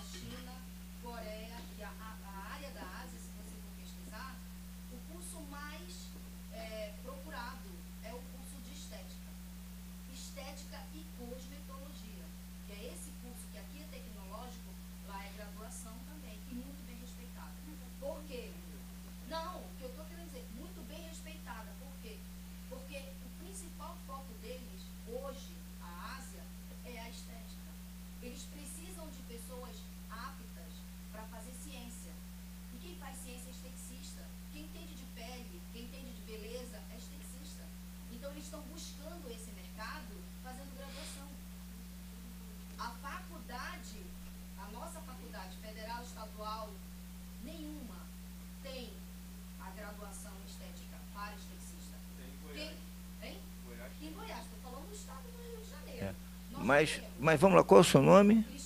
Eu estou dando aqui, Cristiane, o seguinte, é a sugestão, que é uma proposta, do caminho. Qual é o caminho?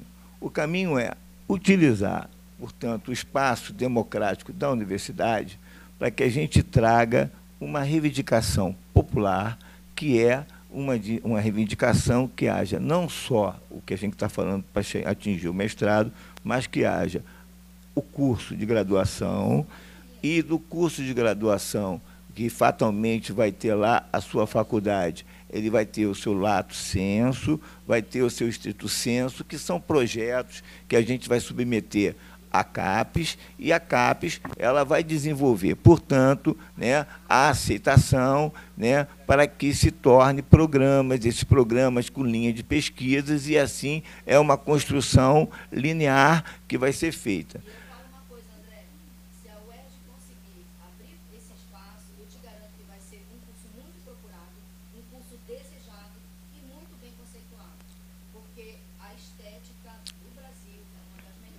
E eu, e eu coloco como aglutinando, aglutinando essa estratégia, sabe, Rosângela? Isso que eu vou conversar com você daqui para frente. Quando você me chamou, estou elaborando uma estratégia. No campo da educação, seria fundamental, aqui no estado do Rio de Janeiro, já que a gente está tendo todo esse trabalho que é, que é muito importante de apoio político do nosso deputado Andrezinho Siciliano, é fazer uma parceria que a gente chama de uma parceria interinstitucional. A parceria institucional, interinstitucional seria da UERJ com o Instituto Federal do Rio de Janeiro e o Instituto Federal Fluminense. Então, através dessas parcerias e de uma rede, que é uma rede interinstitucional, a gente criaria nas três instituições as graduações de estética, então não seria uma ação isolada do Estado de Janeiro, ele teria é, é, é, a, o aporte o aporte da, da, da, da educação profissional e tecnológica federal e, portanto, uma linha política de grande apoio, e através dessas graduações a gente fizesse a primeira grande barreira, que é o quê? Que o curso de estética de graduação ele saísse da esfera hoje puramente privada e entrasse na pública. Esse é o primeiro passo. O segundo o segundo passo, depois de concebido isso, é o curso começar, a gente implementar as primeiras turmas. Aí, quando se chegar para o sétimo período, sexto e sétimo, a gente já manda uma proposta para o CAPES para a formulação dos programas de pós-graduação. Aí, nesses programas de pós-graduações, a gente começa humildemente, com apenas uma linha de pesquisa e com dois ou três cursos lato senso. E a gente implementa um programa dentro dessa rede de interinstitucionalização da UERJ, do Instituto Federal do Rio de Janeiro e do IFE. E aí, com isso consolidado, o que, que vai acontecer? Nem vai precisar consolidar. Eu acredito que, com a aprovação da CAPES, antes da entrada desses programas, você já vai começar a ter a aproximação do capital que é o quê? São as grandes empresas, os acionistas, que já vão perceber que é irreversível o processo, né?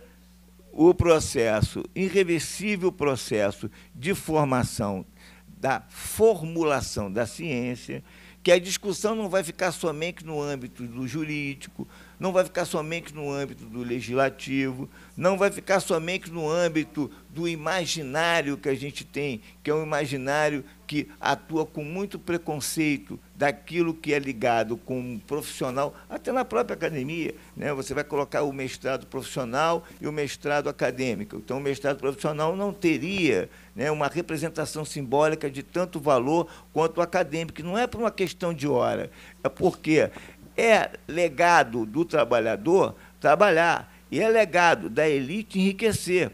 Portanto, a elite é que elabora e o trabalhador é que produz a riqueza. E ele que produz a riqueza não vai ser proprietário da riqueza que produz, porque é a lógica do sistema. Então, vocês estão na contramão da lógica do sistema concentratório e de promoção de desigualdade social, uma luta linda.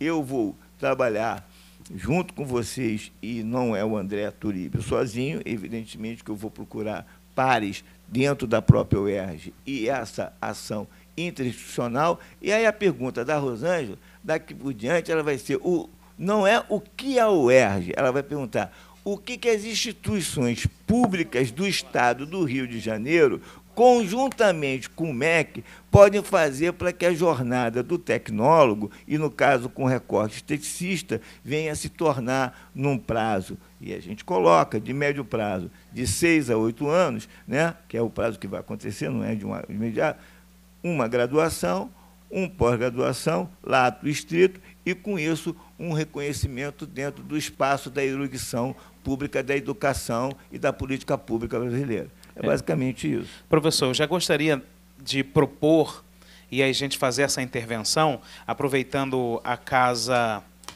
a UERJ aqui, a Casa Assembleia Legislativa, a Escola do Legislativo, gostaria de propor que pelo menos a gente tivesse um evento de dois ou três dias, que fosse um simpósio nacional de análise do profissional técnico e tecnólogo. Então a gente poderia fazer, a gente pode dar esse nome de nacional porque a gente entra a gente entra com o dedo numa análise nacional desse profissional que está no mercado. Aí a gente traz a UERJ, a gente traz os institutos federais, a gente traz os sindicatos, a gente traz as demais categorias tecnológicas e a gente faz uma análise desse espectro de quem é esse profissional e a gente entrega ao Brasil quem são esses profissionais a partir da luta do Sindicato das Esteticistas, do, do, do, movimento nacional e também da parceria que está aqui. Eu acho que a gente poderia propor essa, esse, esse desenho. A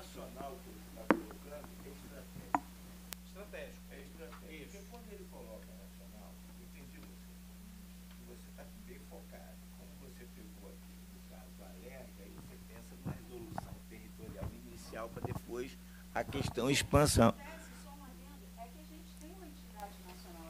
Não, mas quando eu falei. Não, não, não, não. O nacional dele. Só, deixa, eu, deixa, quando eu falei, professor, deixa desculpa. Ajudar, deixa eu ajudar. O nacional estratégico, desculpa, é só para contribuir.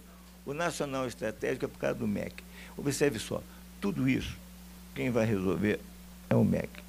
E o MEC vai resolver é isso. através do recorte da CAPES. É isso. Então, se você quer um mestrado, eu vou lhe dar um, uma sugestão de um velhinho aqui, né? daqui da sala, com certeza é o mais, o mais velhinho vou lhe dar uma sugestão.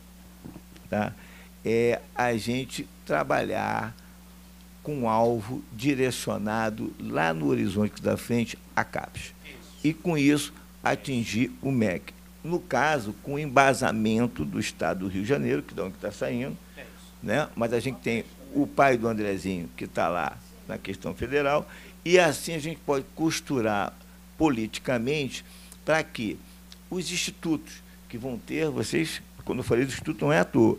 Os institutos, eles vão ter, nesse ano de 2024, um aporte milionário do governo Lula. É o, a pasta que mais vai aportar recursos de desenvolvimento e proliferação de novas instituições de ensino. Então, a defesa de que o mestrado e o doutorado dos tecnólogos, porque a gente está no recorte textista, mas eu acredito que isso possa ter outros recortes, né? que os recortes para outro movimento, e essa realidade que ele acabou de falar, raciocínio. A gente tem uma realidade hoje no governo popular Lula em que é zero mestrado e zero doutorado para os tecnólogos. Ao término do governo, a gente já ter as implantações já aprovadas, regulamentadas no CAPES, dos primeiros mestrados e doutorados em vários cursos tecnológicos. Isso é um projeto político. É isso. isso não é uma discussão de achar ou de direito o que é certo o que é justo. É um projeto político que, estrategicamente, o companheiro entendeu bem ao trazer para cá a temática nacional, vai facilitar muito. Tem o meu trabalho, o meu apoio e a contribuição que for necessária enquanto representação Bacana. na UERJ. E eu ainda falo isso de. Parabéns. É isso mesmo, professor. Eu ainda falo isso de start de todas as lutas que nós estamos travando aqui. O simpósio é mais um papel nessa luta. É, ela queria fazer só uma, um adendo. Vou pedir para ser rápido, porque a gente vai avançar na discussão e eu vou abrir também para o tá. debate. Olha só, quem não me conhece, sou Cristiane Tucci, eu sou graduada em Estética e Cosmetologia e também sou pós. Eu sou tecnóloga. É, eu queria só falar uma coisa. esse, essa palavra tecnólogo, tem muito esteticista que tem que vergonha de dizer. Mas eu vou dizer para vocês que eu tenho muito orgulho de dizer que eu sou tecnólogo em estética, porque eu mexo com tecnologia. Por que, que eu estou falando que o, o doutor André está certo? Porque o nosso foco é em tecnologia. Nós somos técnicas em estética. Ninguém sabe mexer em máquina de estética como nós, esteticistas. Ninguém sabe fazer parâmetros de equipamentos como nós, esteticistas. Biomédico, é, odontólogo, biólogo, ninguém sabe fazer isso.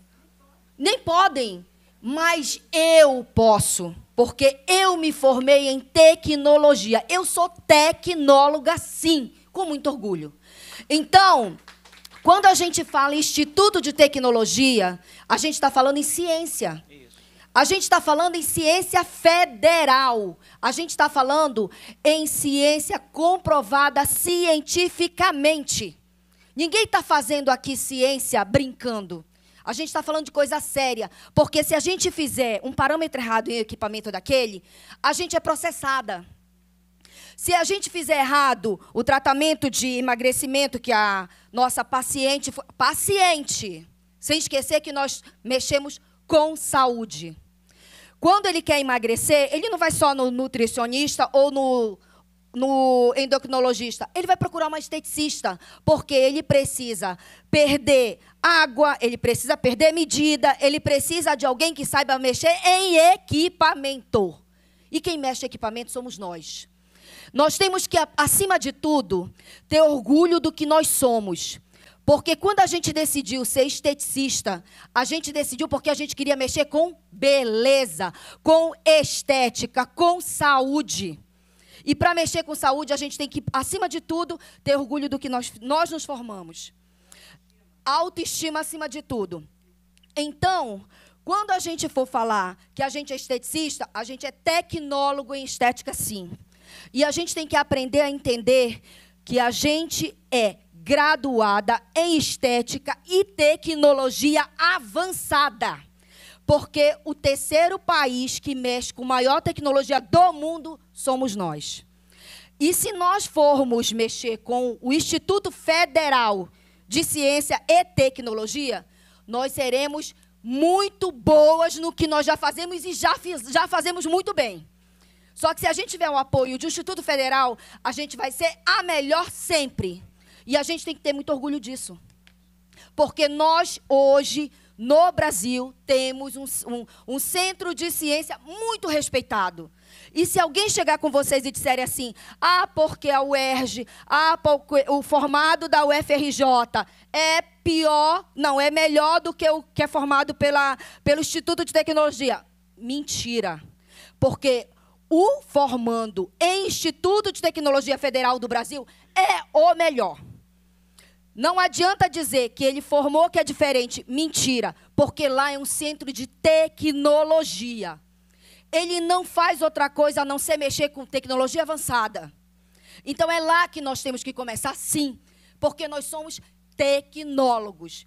Depois que nós entrarmos na UFRJ ou na UERJ e tiver a nossa graduação, nós vamos ter também a nossa pós. Aí vem outra ciência. Aí vem outra tecnologia. Mas hoje nós mexemos em equipamentos avançadíssimos de estética. E a gente tem que ter orgulho disso. Porque só nós fazemos isso. E por lei. E, e devolvendo o microfone ao Nascimento, mas também é, ao professor André, a gente pode, na próxima mesa, colocar o reitor dos institutos federais, o professor Rafael Almada, que ele é um grande parceiro que também tenho certeza que vai entrar nessa discussão. Ele vai, vai ter um imenso prazer, até porque é uma área que ele vai popularizar como o governo pretende, né, a possibilidade da inclusão é. da ciência nos aspectos que hoje estão sendo massacrados aí com a Gente, obrigado, professor, pelo esclarecimento. Não, tranquilo. Não, temos muito espaço. O, o movimento quer propor nesta casa, através do gabinete do deputado, tá? que a gente monte a frente parlamentar mista dos tecnólogos, tá? a nível estadual. Essa é a única pauta que a gente quer reivindicar. Se, se puder ser atendido, vai ser muito bom. Por quê? O debate continuará, de todas as categorias. Entendeu? Então, já estava falando aqui com o Alcimar, uma frente parlamentar vai criar a comissão aqui dentro, vai, vai criar é, períodos de debate, né? e para trazer as demandas de vocês, de todas as categorias, ou de uma categoria específica, para esta casa reconhecer. Entendeu? Então, a frente parlamentar é muito importante para vocês. Tá? Então, vai, vai receber a, as, a, a, as tecnólogas é, cosmetólogas, vai receber a, estética, a classe da estética, vai receber, né, que é que você representa. O sindicato, que é muito importante, ele tem que estar presente, porque é o único que tem direito para defender o trabalhador legalmente. Essas questões que, que, que o professor discutiu estão previstas na LDB, tá?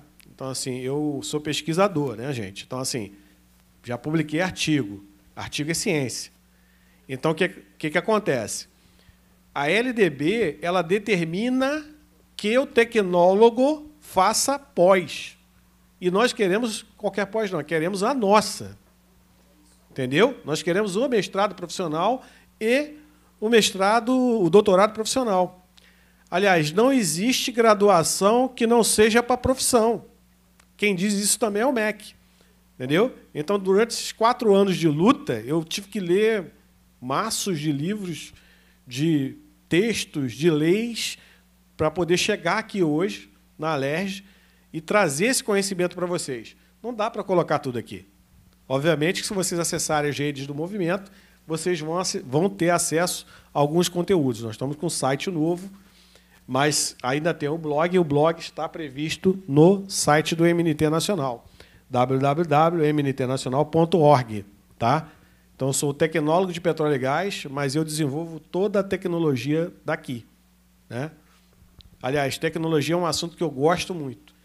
Né? E a gente tem competência para isso. Porque quem bota a mão na massa vai desenvolver um, cremezinho tá? melhor, vai desenvolver uma prática melhor de aplicar aquele creme. Entendeu?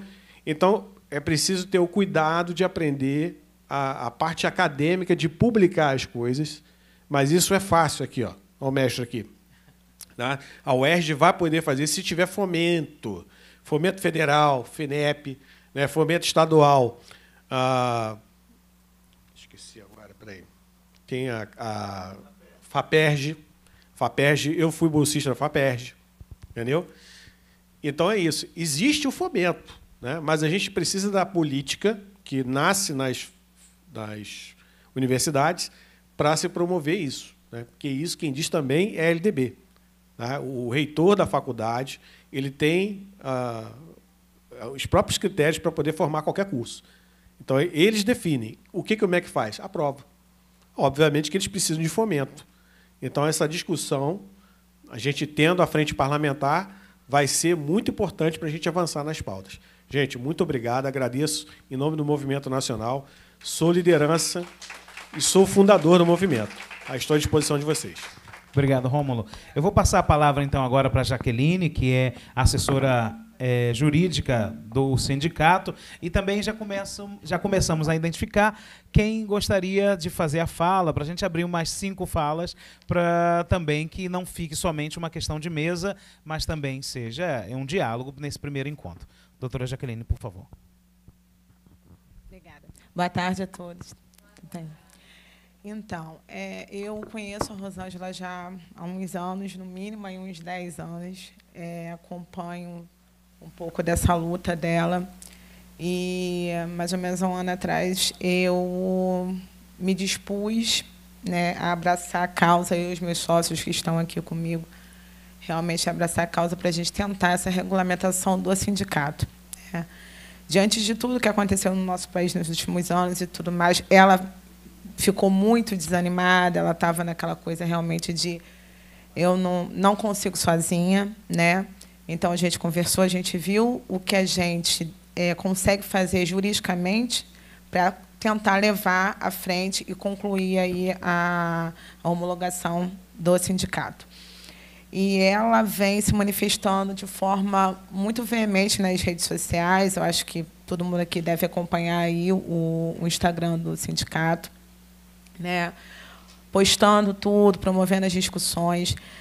Mas para que a gente consiga caminhar, o mais importante é a mobilização da classe. A gente não vai conseguir concluir a fundação do sindicato sem que a classe esteja, de fato, mobilizada com esse objetivo. Né? É, a gente vê pela quantidade de pessoas que a gente tem aqui hoje e pela quantidade de profissionais da estética que a gente tem no Rio de Janeiro. Né? Então, assim, é, primeiro pedido que eu faço a vocês aí, enquanto, enquanto advogada do sindicato, né, que eu não estou aqui como advogada da Rosângela, estou aqui como advogada do sindicato, e a gente está tentando criar uma rede de apoio jurídico a todos os profissionais de estética do, do Estado. É, ela já tem isso em mente, quando alguém procura ela, ela traz a questão até a gente, para a gente ver como que pode estar atuando para auxiliar. Então, assim, o meu primeiro pedido é, é compartilhem essa, essa causa, compartilhem essa mobilização com os colegas de trabalho, com os colegas de profissão, para que a gente realmente consiga levar a causa adiante. Né? Como foi colocado aqui, é, a mobilização e a estratégia é fundamental. Se a gente não tiver, a gente não consegue caminhar. Né? Então, assim, a mobilização, a união da classe para que a gente consiga realmente avançar. E aí a gente vai, daqui por diante, nós já havíamos né, ajustado isso, estava aguardando esse primeiro encontro para que, com essa ata na mão, a gente tentasse aí é, pedir uma audiência pública né, e fazer e levar isso tudo até o Ministério Público do Trabalho. Por quê? Essa atuação indevida de outros profissionais na área da estética realmente está impedindo o trabalhador da estética de conseguir o seu emprego. Então, a gente tem que pedir socorro ao Ministério Público do Trabalho. Mas, como a gente precisa de uma estratégia, né, quando a gente conversou, a gente falou realmente o que a gente tem hoje nas mãos, com uma mobilização da classe tão pequena, a gente não vai conseguir bater na porta do Ministério Público do Trabalho e ter uma atenção devida. Então, assim, a gente precisa disso. A gente precisa do interesse, do apoio de vocês para que a gente consiga caminhar, tá? E aqui eu me coloco à disposição, coloco o escritório à disposição é o que vocês precisarem, tirar qualquer tipo de dúvida, tá? A Rosângela é um canal, a gente tem lá no, na página do Instagram, está lá o contato do escritório, tá? Então, qualquer dúvida que vocês tenham, podem vir até nós. E a gente precisa mesmo da união para que a gente consiga levar isso até as instâncias superiores para a gente ter um resultado efetivo. Tá bom? Obrigada, viu? Queridas e queridos, a Bruna, Bruna Peçanha, também já quero agradecer, está recolhendo os nomes de quem quer fazer a participação. Eu vou passar a palavra para a Nesco, né, para o Frederico, para fazer então é, esse primeiro bloco, e a gente parte então para os debates. Tá? É, uma boa tarde a todos. É, obrigado, Rosângela, pelo convite. A gente tem essa situação envolvendo as cartas sindicais que tem uma dificuldade muito grande junto ao Ministério do Trabalho e eu acho que uma união de esforços seria interessante para que a gente consiga efetivamente é, sanar toda essa situação de irregularidade.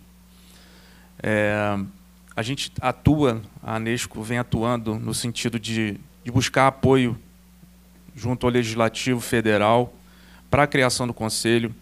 Nós, no ano passado, a gente conseguiu a suspensão dessa nota técnica através, inclusive, do senador Luiz Carlos Reis, do Rio Grande do Sul, que fez um trabalho brilhante e a gente conseguiu, a gente foi levado até a, a, a direção da Anvisa e essa nota técnica foi suspensa. Entretanto, o segundo passo, que seria uh, a participação do esteticista na elaboração desse documento, que foi uma garantia que foi da própria Anvisa, esse termo não foi cumprido. Eles esperaram simplesmente a, a fumaça baixar e republicaram a nota técnica. Então, na semana passada, a gente esteve lá, é, imbuídos em esforços para conseguir uma nova reunião para fazer essa nota é, simplesmente sumir do ordenamento jurídico e prático, é, que vem trazendo uma série de empecilhos para a categoria como um todo. E também a gente teve que limpar a, a situação embaraçosa que foi feita pelo Sindicato do Espírito Santo, que utilizou da, dessa nota técnica, que traz um prejuízo absurdo para a categoria, para simplesmente procurar o INEP e fazer ser excluída a disciplina dos injetáveis da prova do ENAD. Isso foi assim um, um, um verdadeiro, é, uma verdadeira facada nas costas de toda a profissão é, que foi realizada por, por pessoas que não nos, nos, não nos representam. Né? É um, eu, tive, eu tive o prazer de conhecer a Noêmia, ela, é, enfim, eu trabalhei com ela na Nesco, na, na, na gestão dela, mas a forma como ela está conduzindo essa situação, no sentido de frear o crescimento da profissão, que é uma coisa que não tem mais como você segurar. A profissão se tornou uma, um, um campo bastante científico, com várias pós-graduações, inclusive pós-graduações voltadas exclusivamente para as práticas injetáveis. Isso é uma realidade e não tem mais como voltar atrás. Mas, infelizmente, com o pensamento retrógrado delas, a gente conseguiu, é, a gente perdeu cinco anos de trabalho. Em uma reunião no Ministério da Educação, elas conseguiram frear cinco anos de evolução da categoria. Então a gente teve reunião com o deputado Elter Salomão, Helder Salomão, e com o Fabiano Contarato, para limpar essa sujeira que as duas fizeram. Então, é, eu peço que vocês, eu, eu, eu resumindo, é, eu peço que vocês sigam as redes sociais da associação, da Anesco, é, entrem nessa luta, sigam as redes sociais do, do Helder Salomão e do Fabiano Contarato e peça solução para o caso. Porque só assim, é, imbuídos numa união absoluta, que a gente vai conseguir nossos objetivos. É, reverter esse quadro da, da, da, das disciplinas injetáveis na prova do ENAD e, finalmente, a criação do nosso conselho profissional. Que aí sim a gente vai fazer cessar toda essa balbúrdia praticada por outras profissões que invadem a nossa, nossa área de atuação por meio de resoluções que são consideradas inconstitucionais desde 2008 pelo Supremo Tribunal. Então, é isso. É isso que eu tenho para falar. Agradeço a todos. Curtam lá as redes sociais da Anesco e vence a Anesco você também. É, eu só queria fazer um contraponto, porque eu não conheço a Noêmia, nunca conversei, nem sei quem é mas eu sou amiga de longa data da companheira Erondina, que também é, a gente comunga do, do Partido dos Trabalhadores. E o doutor Frederico sabe que a nossa categoria está muito dividida como país.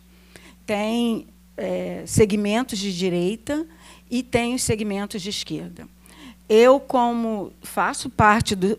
Isso aqui é uma prova que a gente pode ter é, diálogo pode ter respeito. E eu quero só dizer, fazer um contraponto, porque ela é uma companheira de longa data. Ela deve ter se equivocado. Então, eu quero aqui, doutor, fazer uma defesa dela. Porque ela, o que ela me disse quando eu perguntei o que aconteceu? Por que você foi no Ministério do, da Educação fazer esse pedido para tirar os injetáveis? Rosângela, eu fui lá pedir para botar na grade. Eles entenderam errado. Eu não sei se ela está sendo influenciada, mas eu só quero fazer essa defesa da companheira Rondina para que ela é, reverta essa posição dela, que ela mesma procure o nosso companheiro, o ministro do Trabalho, onde ela é muito ligada a ele, o ministro Marinho. Ela é amiga pessoal dele, ela é amiga pessoal do Helder Salomão, ela é amiga pessoal do Contarato, ela é uma força muito forte no Estado do Espírito Santo. Eu não sou mais a presidente nacional, eu não sou mais a presidente da federação. Eu fui presidente por praticamente 10 anos, porque a, a primeira presidente morreu e eu tive que assumir esse mandato dela. O senhor sabe da minha luta, está nas notas taquigráficas da Câmara Federal, o quanto eu fiz de audiência pública, e, nesse momento, eu decidi que eu cuidaria do Estado do Rio de Janeiro através do Sindicato dos Trabalhadores do Sindeteg. E o senhor está aqui, que o senhor representa o Sindestétic, que é o sindicato patronal. Nós temos que ter uma, uma, uma harmonia para que essa categoria cresça. Né? Nosso sindicato está vinculado à federação, à FEBRAP, que tem cinco, seis sindicatos laborais. Nossa carta não sai como nenhuma outra carta de laboral sai. Saíram as cartas do patronal. Isso não quer dizer que a gente não existe. Então, o que, que eu quero? dizer que o senhor deu uma chance para a Erondina se explicar de uma maneira calma. Eu vou buscar essa, porque ela tem muita força com o ministro da Educação, com o ministro do Trabalho, Espírito Santo. Ela tem o senador Contarato, que é amigo pessoal dela, Helder Salomão, o deputado que é amigo dela. Então, ela é de um outro estado diferente do nosso, com uma outra concepção. E hoje eu tenho o meu deputado Andrezinho Siciliano, Vem, deputado. A qual já gostaria de chamar para a mesa, deputado André Siciliano, por favor. E que eu sou muito grata a ele por tudo que ele tem proporcionado aqui para a gente. E, deputado, o, o Frederico, eu acho que através das mãos do Andrezinho, vai chegar na mão do Lula o nosso projeto do Conselho. O Conselho não é meu, não é seu, é de todos nós. Não adianta ter divergência de Anesco, Febrap, Sindetege e Sindestétic. A gente tem que ter a mão forte desse jovem aqui, porque eu estou acreditando muito nisso. E ele chegar, eu já falei, não é pelo seu pai, não, cara. É por você chegar no Lula. O Lula gosta de jovem. Então, ele vai chegar com esse projeto e nós dois vamos festejar. A Anesco vai festejar, o Sindetege vai festejar, e a Erondina, lá no Espírito Santo, vai festejar.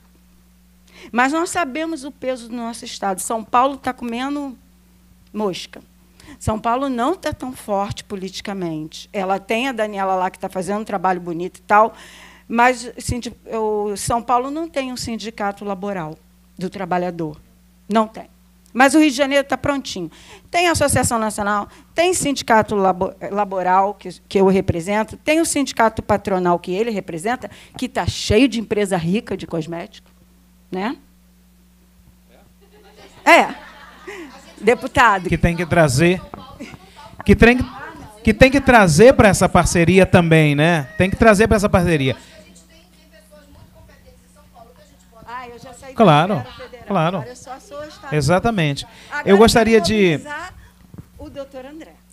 Eu gostaria de passar a palavra para o nosso deputado e também é, elucidar que Sueli depois vai fazer um relato bacana do encontro, André.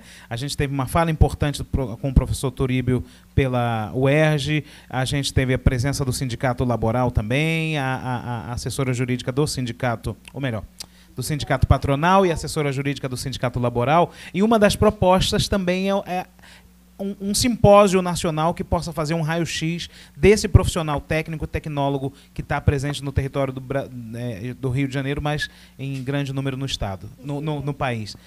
Poderia ser aqui, quem sabe, né? Vamos fazer essa proposta. Constrói. Palavra ao nosso deputado. Boa tarde, gente. Boa tarde a todos. Desculpa, Andrezinho, também o Movimento Nacional dos Tecnólogos, perdão, estava presente. Maravilha. Bem-vindo. Gente, cumprimentando os companheiros da mesa aqui, estendo os cumprimentos a todos.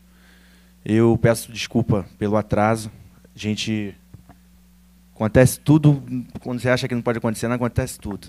Acabou que eu me atrasei, mas eu pedi um pessoal lá do meu grupo de trabalho do legislativo para vir aqui fazer um relatório.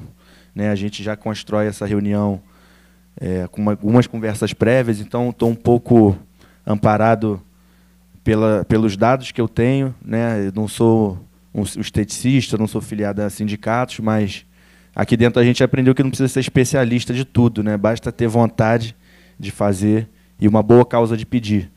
Então, eu me sinto muito confortável desde a primeira reunião que a gente fez com algumas entidades de classe, com estudos universitários, com todo esse amparo, né, que dá uma, uma, uma um bom colchão para a gente se firmar no sentido de conseguir levar essa causa e conseguir trazer as melhorias que as classes precisam.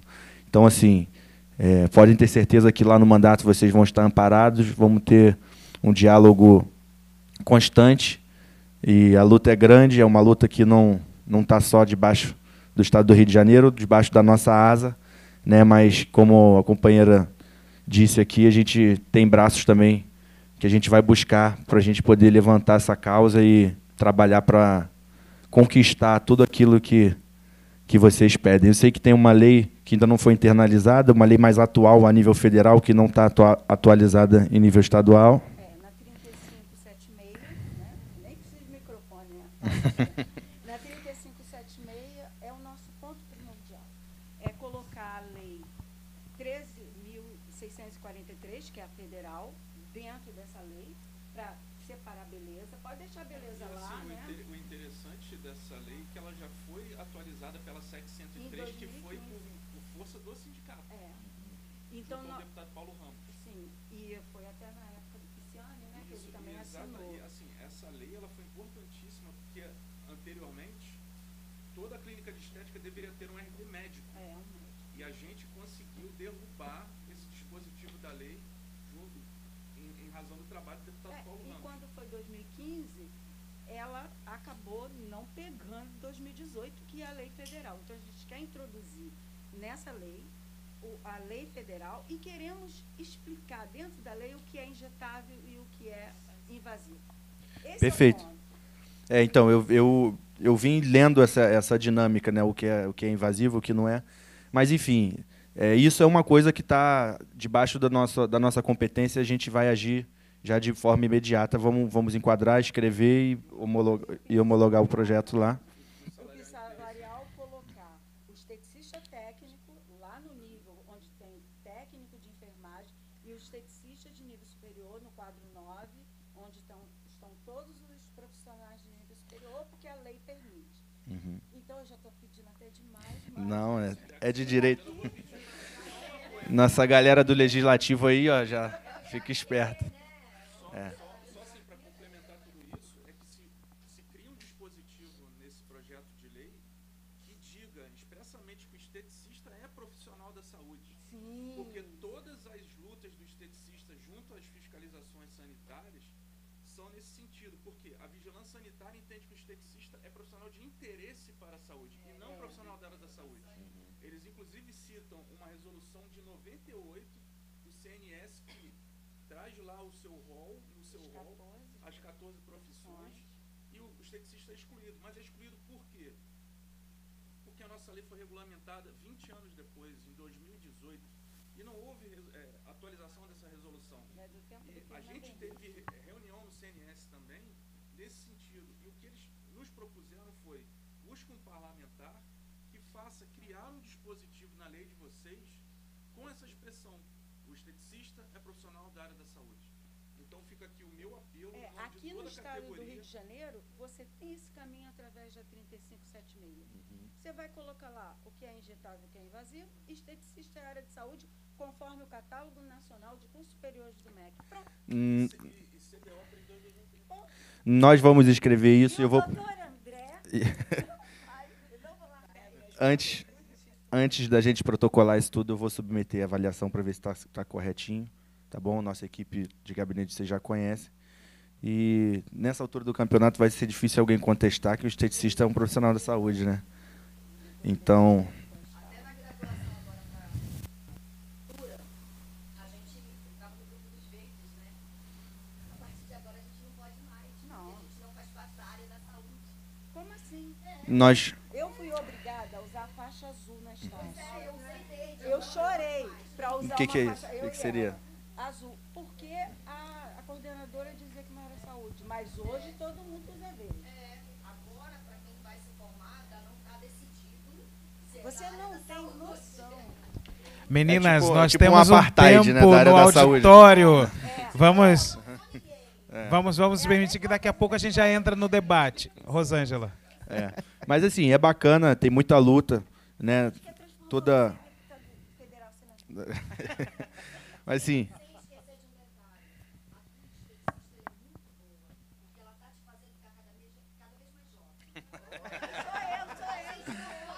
É, esteticista é uma. É uma deusa, porque essa casa aqui deixa a gente careca. Mas assim. É verdade. tá explicado, tá vendo? Já descobriram meu, meus macetes. Mas, gente, é, enfim, é isso. Acho que tem muita luta, a gente está organizado, é, sindicato, enfim. Acho que isso aqui é um pontapé inicial, a gente vai caminhando, teremos outras reuniões, teremos é, novas versões de, de, de, de, dessa luta, né? que é uma causa que envolve várias camadas e cada coisa né, de acordo com a sua vez, né? com o seu momento, com o seu tempo. A gente vai começar pela internalização da lei aqui, através da, da, da Rosângela, que propôs para a gente. A gente vai escrever, vai submeter, vamos fazer, e a gente vai entendendo os próximos capítulos, os próximos momentos. e Perfeito. E aí vocês vocês embora. Vocês podem contar comigo para ser o braço de vocês aqui na, na parte legislativa, para ajudar a reunir, mobilizar uma turma, porque sem mobilização também a gente não avança, né? É muito bacana que vocês tenham vindo aqui, porque muita gente não se preocupa, né? E são tantos profissionais. Então, vamos embora, vamos.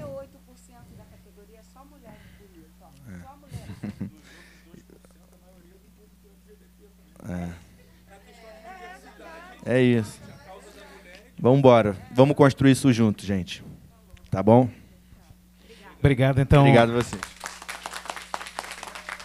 É muito importante a fala do nosso deputado nisso e também a gente avançar nessa construção. Né? Claro que não se, se esvai aqui esse debate, mas esse debate acontece agora, a partir, como o deputado falou, da análise, do estudo, das propostas, das prerrogativas, do novo encontro, de trazer a categoria, de apresentar, avaliar e continuar novamente fazendo e depurando para que a coisa vá adiante. Gostaria de abrir, então, para as participações. Gostaria de convidar a primeira a Denise Otalora. É isso? Perdão. É esse mesmo seu sobrenome? Otalora? Então tá bom. Denise.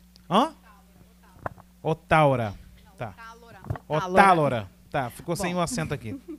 Bom, em primeiro lugar, boa tarde. É, obrigada por abrir essa casa, Sueli, Andrezinho. Acho que é muito difícil a gente ter esse lugar de fala, né? A esteticista durante muito tempo foi discriminada, né?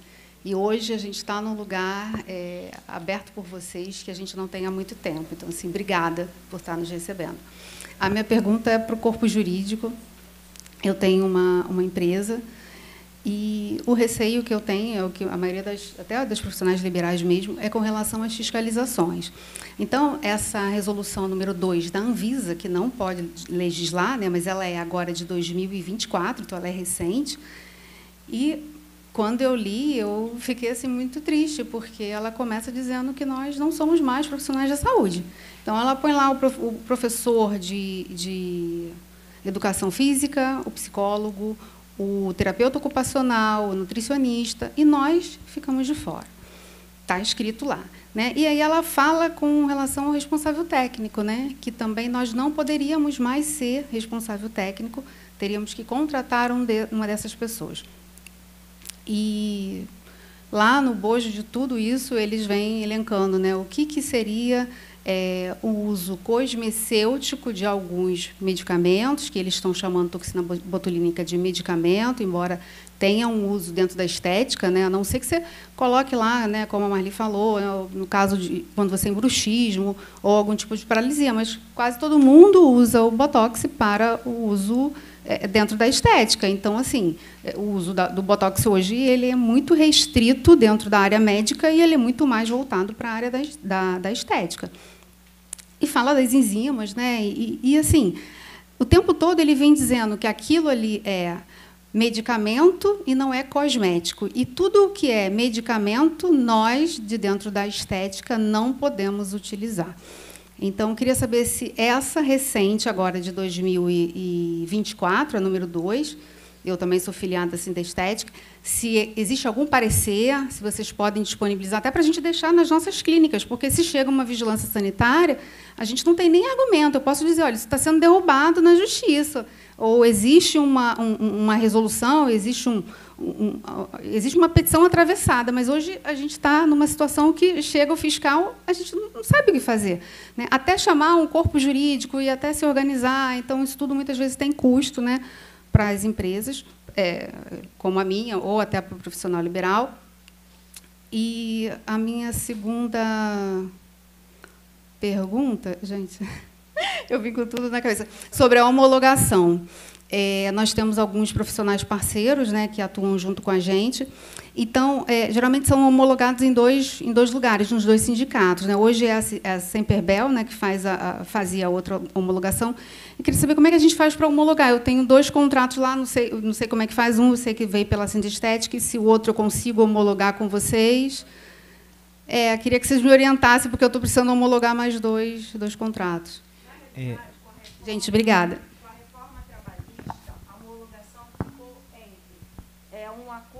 entre o patrão e o empregado.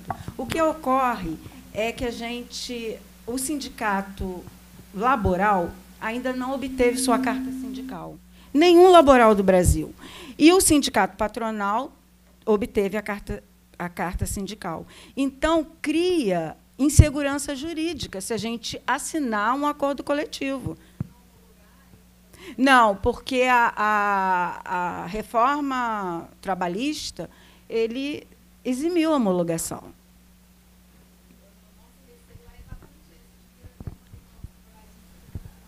Então, é, essa questão do contrato de parceria tem uma lei específica, né, a gente que deve ser obedecida.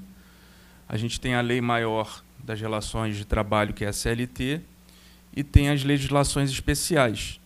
Quando se trata de um contrato de parceria em que há uma previsão numa legislação especial, é essa legislação que deve prevalecer. Tá? E, e, e a lei de salão parceiro, a 12, 12592. É, para o salão parceiro. É, então. Sim, essa lei ela prevê que os contratos de parceria devem ser homologados ou no Ministério do Trabalho ou é, ou então pelos sindicatos patronal e laboral. O Sindestétic, pelo fato da, da Rosângela não ter, do Sindeterge não ter a carta sindical ainda, a gente fez essa parceria com o Sempribel, do, do Flávio. E aí tem que ser feita a homologação junto a eles e junto ao, sindicato aqui do Sindestétic. Sim, sim. É porque a, é porque é, aí, aí a grande questão é o seguinte: a gente também já teve reunião com o Ministério do Trabalho, inclusive com a superintendência aqui, e eles dizem que isso não é relação de emprego. Por não ser relação de emprego, eles não fazem homologação. Então, a única saída é procurar os sindicatos. E com relação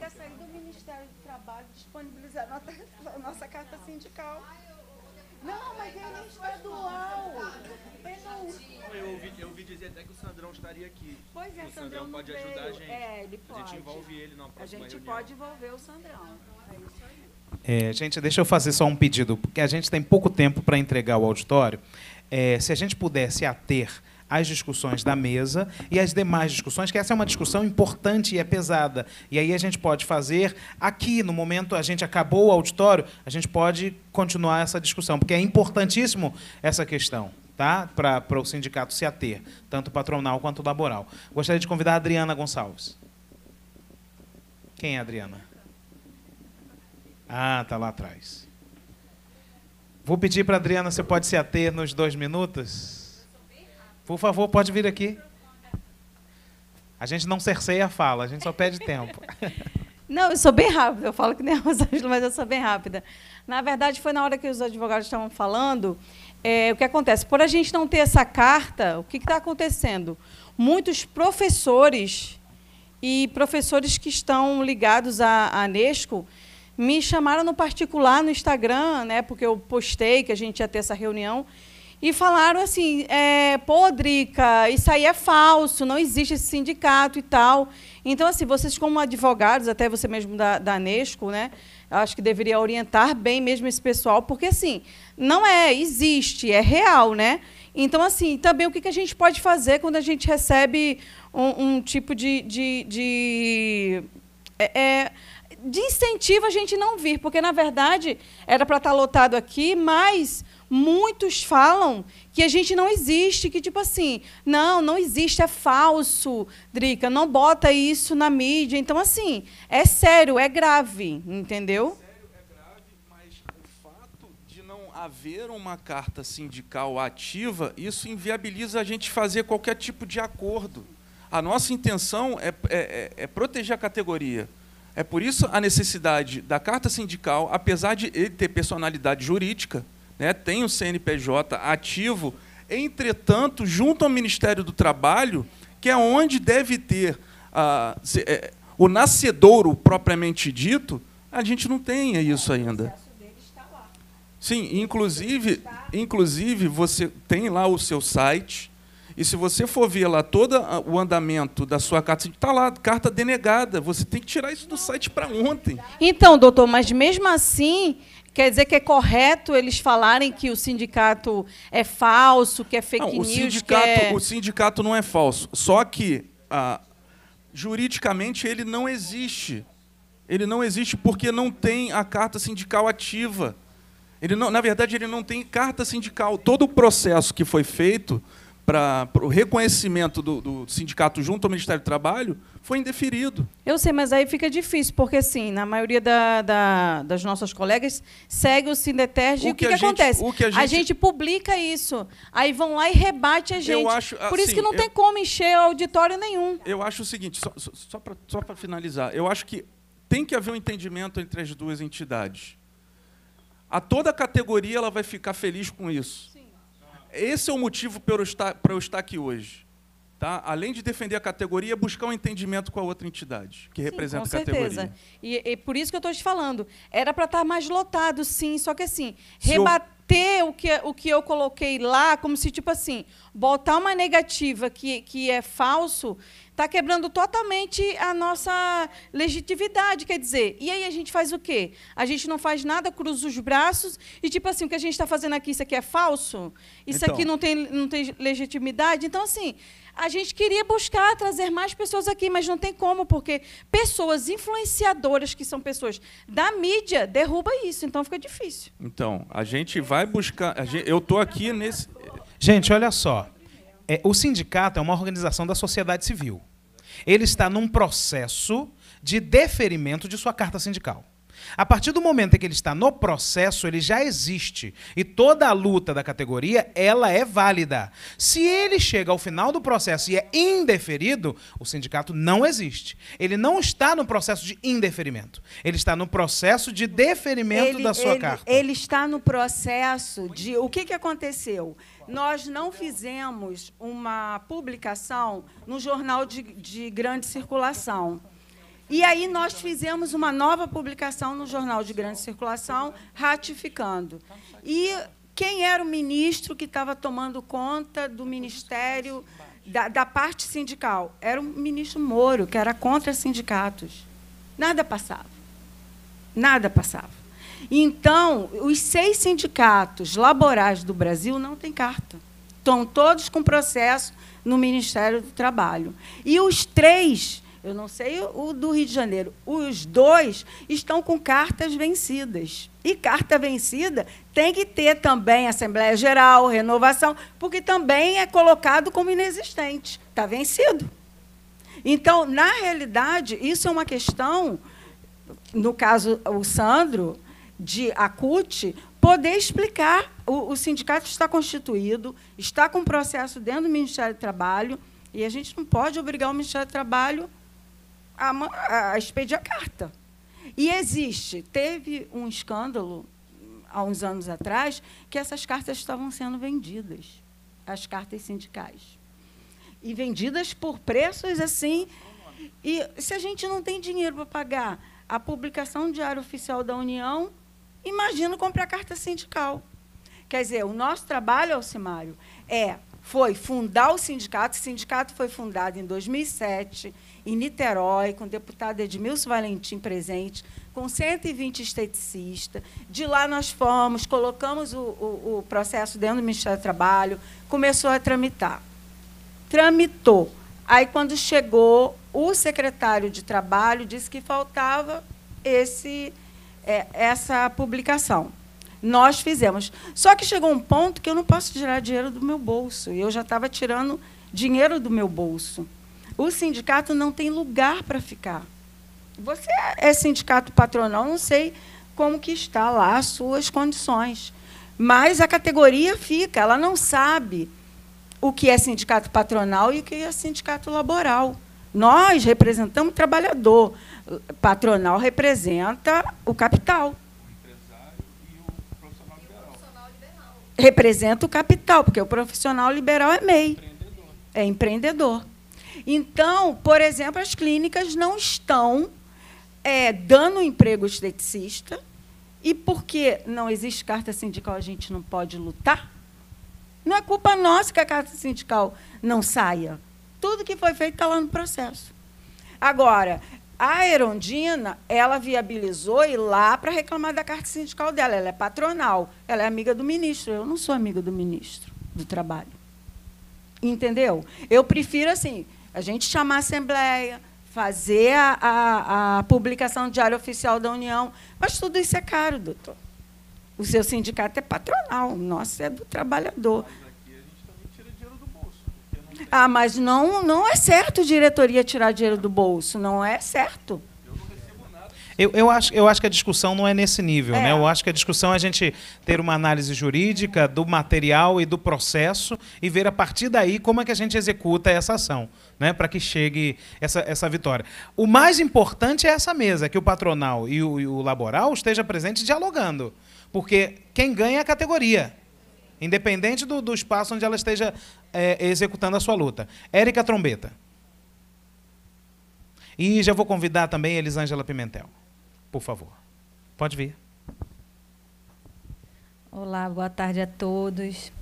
É, primeiro eu queria agradecer pela oportunidade de assisti-los, porque isso para mim é uma novidade e queria fazer uma observação. Independente de ter carta ou não, é, eu acredito que isso aqui deveria estar lotado.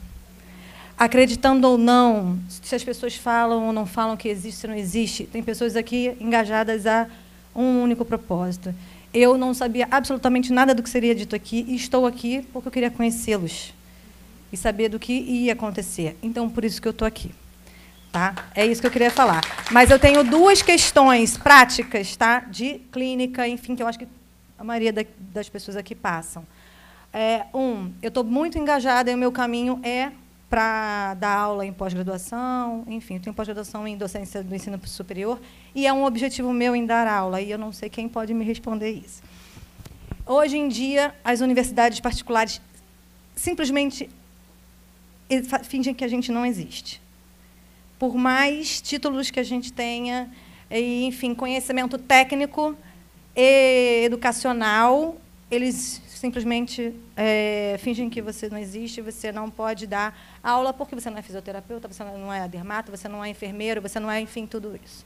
Queria saber, assim, na prática, o que, que a gente pode fazer para isso. E a outra pergunta também, que é mais técnica, que eu acho que você pode me ajudar. Feiras de estética voltadas para esteticistas, sendo apresentadas por fisioterapeutas e outras classes, nós não podemos comprar produtos injetáveis. E aí eu queria saber assim, se a gente pode pleitear isso de uma maneira mais é, legal, enfim, com lei, com defesa do consumidor, enfim, não sei como. Já ouvi falar, mas como não tenho aparato jurídico, é uma questão que eu gostaria sim, porque eu seria uma pessoa que chegaria num estande e falaria, não, você pode me, me vender sim, você deve me vender, porque existe uma lei, assim, assim, assim. Então, se eu tivesse esse aparato, eu poderia comprar muito mais barato. Se eu posso comprar um produto por 50 reais, eu vou comprar por 200 no representante. Então, o meu preço sobe. Eu não sei se todo mundo passa por isso, mas eu acho que sim. É, deixa eu te responder a Pronto, parte. É isso a minha pergunta. A parte da docência. A parte da docência está estabelecida numa lei federal, Lei 13.643, artigo 6 inciso 1. Não, inciso 2. Inciso 2, que diz que o esteticista é responsável pela supervisão, docência, auditoria. Está lá, ó. Professor é você. Agora nós queremos saber como é que tira esse povo. Da faculdade. Da faculdade, notificando a faculdade. E, e, e tudo vai depender dessa lei que o deputado Andrezinho vai alterar. Porque é nela. Vai proibir, né? É, não, vai determinar o que é injetável, o que é invasivo, e vai colocar a nossa lei no Estado do Rio de Janeiro. Nós vamos dar um grande salto. Então, existe uma lei que já me dá esse direito. Mas a gente não pode obrigar a universidade privada, é porque elas acham que elas podem, que sei lá o que, elas acham. Elas precisam ser notificadas. Essa é a questão. Se a gente recorre ao Ministério Público do Trabalho, porque a gente está perdendo emprego nas universidades privadas, né? mas é, esse direito está na lei. E essa questão do injetável, somente essa lei do Estado vai nos dar essa definida. Boa tarde a todos. Eu, meu nome é Elisângela e eu quando chegou no ano de 2009, eu fui até a minha faculdade, também fiz a formação, fui para o meio privado e fui, eu tive uma promessa. E eu fui através de um sonho. E esse sonho, ele foi se desfazendo conforme a gente foi vendo a realidade que cada uma de nós que estamos aqui presentes na nossa categoria, sou agradecida, né, primeiramente a Deus, mas também temos a nossa representante aqui, agradeço a mesa, mas a Rosângela, né, não sou advogada, mas isso aí a gente tem que dar mérito, porque foi a única pessoa que se preocupou com a gente no período que a gente estava perdida. Tá? A gente sabe muito bem que existem muitos congressos que querem vender mesmo produtos caríssimos, como a nossa irmã, a nossa colega que falou, e todas vocês, então eu estou aqui para reforçar, tá? que ela trouxe o, o, os simpósios para a gente, é, até mesmo trazendo para a gente as novidades que os cursos aí fora estão trazendo, especializações caríssimas, que são oferecidas para todas nós, as outras formações também que são da, estão indo para a área da estética, o valor é diferente do nosso. Quando a gente vai pedir informação sobre o curso, qual é a sua formação? Ah, eu sou formada, estou na área da tecnologia. Ah, mas é esse curso. Não, mas aí para você vai ser valor X. Ou então também não oferecido para você, e a gente sabe tão quanto as, as outras formações. Então, eu estou aqui para reforçar, estou aqui para também fortalecer a nossa causa. Tá? Agradeço a, a, a mesa. É, eu moro em Campo Grande, e vocês sabem que é pertinho, né? E vim aqui para reforçar. Eu estou com uma colega que se formou comigo, que é a Vanusa. Ela está quietinha no cantinho dela. E nós temos amigas nossas que se formaram, estão indo para Portugal, porque aqui no Rio de Janeiro a gente não está tendo campo para trabalhar. Tá? Nós temos aqui possibilidades infinitas, mas a gente não está tendo campo para trabalhar, porque quando a gente chega dentro de uma universidade, apresenta o nossa, a nossa formação, é para o fisioterapeuta dar aula para esteticista, é o biomédico que está dando aula para o esteticista, é, é, é, e a gente vai se sentindo diminuído. E a gente não quer isso para a nossa categoria. Eu lembro agora, no período que a gente precisou né, é, é, tomar vacina, nós não fomos incluídas. Eu, eu, a minha formação foi com a faixa verde. Eu fui informada pela faixa verde como área da saúde, mas quando eu fui usar o meu diploma para tomar a vacina, eu fui impedida de tomar a vacina. E a gente precisou também trabalhar, mas a gente teve que entrar de frente para a gente não tinha condições de trabalhar, mas a gente tem vacina, a gente teve que trabalhar. Tá? Agradeço a oportunidade a vocês e estou aqui para fortalecer a causa. Contem comigo. Só uma um esclarecimento talvez possa ajudar. É, eu vejo é, como, como duas frentes que a gente pode trabalhar essa questão da docência. Que, qual é o seu nome? Que a Érica trouxe. Né?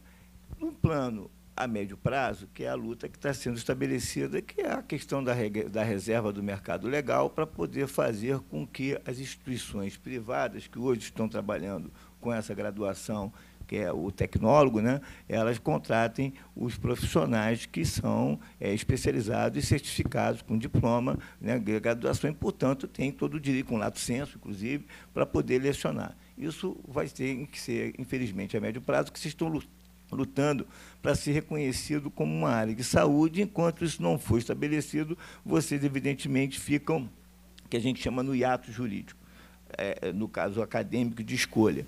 Né? E a Rosângela colocou de uma maneira clara que não tem como obrigar né? a instituição, portanto, ela está amparada, ela está numa zona de conforto legal, ela não vai contratar vocês como profissionais para poder lecionar. Mas existe, para imediato, uma situação chamada o seguinte, é que é o curso de extensão. O curso de extensão universitário, então, por exemplo, eu vou conversar com a Rosângela e vou lançar isso para vocês. Mas ah, isso é outra coisa. A gente primeiro está falando para a questão de lecionar de imediato. Mas, professor, está na lei, é nosso direito. Está na lei federal, é nosso Sim. direito. Eles estão Sim. Me parece que tá, vai ser discutido, portanto, essa questão, por isso que eu estou colocando de curto para médio prazo, para que a lei seja aplicada, vai se trabalhar essa situação com as instituições privadas para que haja o quê? Que essa reserva de mercado que eles estão fazendo com as outras, as outras profissões, para poder selecionar né, a estética especificamente, isso seja, é, é, é, a gente consiga tirar essa obstrução. Isso está sendo feito.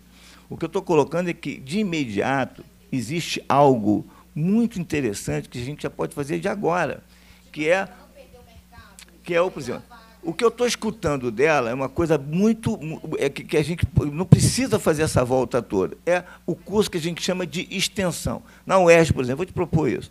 Na UERJ, a gente pode abrir um curso de extensão especialista em estética, contratar algumas profissionais inicial para o primeiro, o primeiro turno, a primeira turma. É um curso livre, é um curso livre, é um curso com certificado ERJ, em suma. Eu vou já assumo o compromisso que eu trabalho na coordenação da área de extensão da UERJ.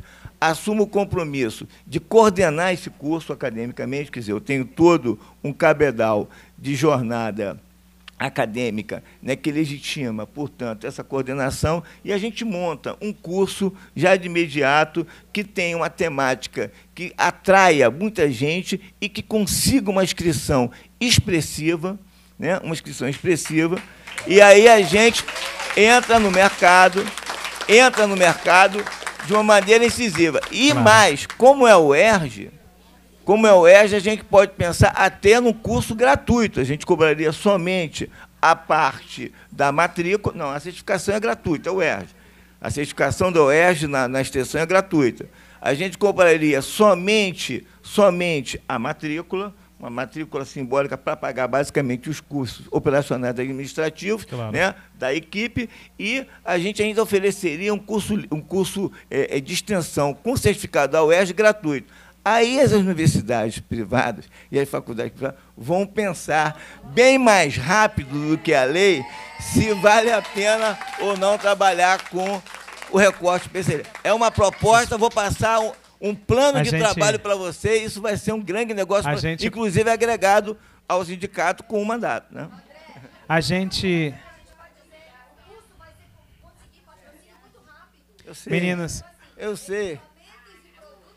Eu a sei. gente a proposta a proposta é óbvio que ela está dentro de uma cadeia sai. de uma cadeia econômica de negócio é óbvio que eu estou vendo isso porque André, o que eu estou colocando é disputa de mercado a gente tem que encerrar André, a gente já sai daqui. É, sim, vou falar das empresas. Só, só, deixa eu só encerrar e o senhor conclui, por favor. Gente, olha só. É, nós estamos organizando, então a gente também precisa organizar no horário. A gente tem que ter responsabilidade, senão a gente pode não conseguir novamente a casa. Não adianta a gente ter ganhos e depois não ter outros ganhos. Eu quero pedir desculpa a Carla Andréia, Marjoriana, a Cristiana Tucci e a Suelen Machado, que eu vou cercear a palavra, tá? Me perdoe, Andrezinho. Também quero dizer que o CONEM está aqui presente, junto com o seu, seu representante nacional, Alciberto, tá? É, e é exatamente isso. A gente já sai com algum ganho aqui da própria casa da escola do, da, da Leste. Eu vou deixar a palavra para a Rosângela finalizar e o, o outro sindicato. Deixa eu só falar que a Marjorie queria muito falar sobre os técnicos em estética, que são importantíssimos. Nós estamos aqui falando dos tecnólogos, mas eu quero dar esse tempinho, assim, um minutinho, porque ela representa aqui esse segmento que o sindicato representa, que são os técnicos em estética, e eles têm uma importância muito grande. E não estão esquecidos, não. Tá? Primeiramente, obrigada, tá? Eu já acompanhei um evento de vocês há muitos anos atrás em São João de Meriti. Eu ainda era graduanda e hoje eu tenho esse espaço, sim, como eu sou professora. Eu tenho até um bordão das Estética Gatas. Foi uma dificuldade muito grande trazer o público do técnico, porque hoje em dia está existindo uma toxicidade entre os próprios profissionais tecnológicos. Então, alguns momentos existe uma soberba muito grande de nomenclatura. E, e não pode acontecer, porque isso aqui realmente era para estar tá muito cheio. Eu fui trabalhando durante a divulgação, te agradeço fielmente, porque eu mesma, dentro de alguns eventos, quando eu publiquei, até te falei hoje de manhã que derrubaram a minha publicação, porque a gente precisa incentivar as pessoas que estão vindo do pequeno. Porque se eu sou uma supervisora técnica, eu tenho que respeitar quem eu vou estar fiscalizando. O técnico tem todo apoio, eu falo isso todos os dias dentro dos cursos. Eu não sou professora somente da, do, da técnica em estética, como de graduação também. E ao tempo inteiro, tenho alunas ali presentes, eu falo com elas o quanto elas são importantes. E se a gente não mostrar essa importância para o técnico também, como que a gente vai lutar essas cadeiras? Eu só quero te explicar que esse encontro a gente chamou do tecnólogo pelo movimento. Isso. O movimento abrange todos os tecnólogos. E foi isso que eu fiz o tempo inteiro. Mas eu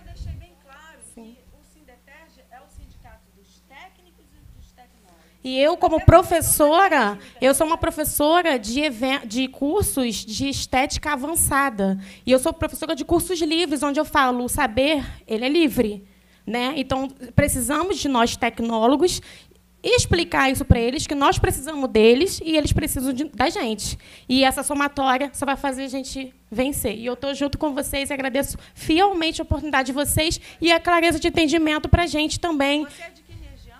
Eu sou daqui de Caxias dessa questão. Eu quero mesmo, é o meu conselho. Eu acho que todo mundo quer isso, o conselho, porque eu, como professora, estou cansada de ouvir que as colegas estão falando. Sim, com muito orgulho, minha aluna abraçou a causa, porque está muito complicado eu, como uma professora, lecionar, mas eu não tenho as substâncias para fazer. E estética, vou falar para vocês, a estética se vence com isso aqui, ó, com conteúdo, mostrando para eles que nós somos profissionais da saúde, sim, e não é brigando, discutindo, é mostrando a nossa inteligência. Inteligente a gente mostra no argumento, conversando. Eu sofri um desmerecimento na escola que eu leciono. Uma pessoa se portou com cartão e falou: toma meu cartão para você atuar, já que você não pode é, é, atender. E eu, conversando na classe, eu expliquei que sim. Então, agradeço fielmente a oportunidade que vocês estão dando para todas nós e tenho certeza que a próxima isso vai lutar. E eu me comprometo junto aos empresários a conseguir insumos e os equipamentos para essa extensão universitária na UER. É, gostaríamos também de agradecer Gostaríamos de agradecer ao Luiz Carlos Hereda, que é do Movimento Nacional de Tecnólogos, que gravou um vídeo, mas infelizmente a gente não vai poder exibi-lo nesse momento, mas ele vai ser colocado na TV Alerj, tá? Já está esse, esse combinado. E também, professor, a gente disponibiliza o Instituto Brasileiro de Gestão de Políticas Públicas para ser também uma instituição apoio nessa extensão. Assim concluímos nosso primeiro encontro de tecnólogos. Muito obrigado à presença de cada um dos senhores e das senhoras. E vamos adiante com as nossas organizações. Obrigado. Vamos fazer uma foto coletiva, por favor?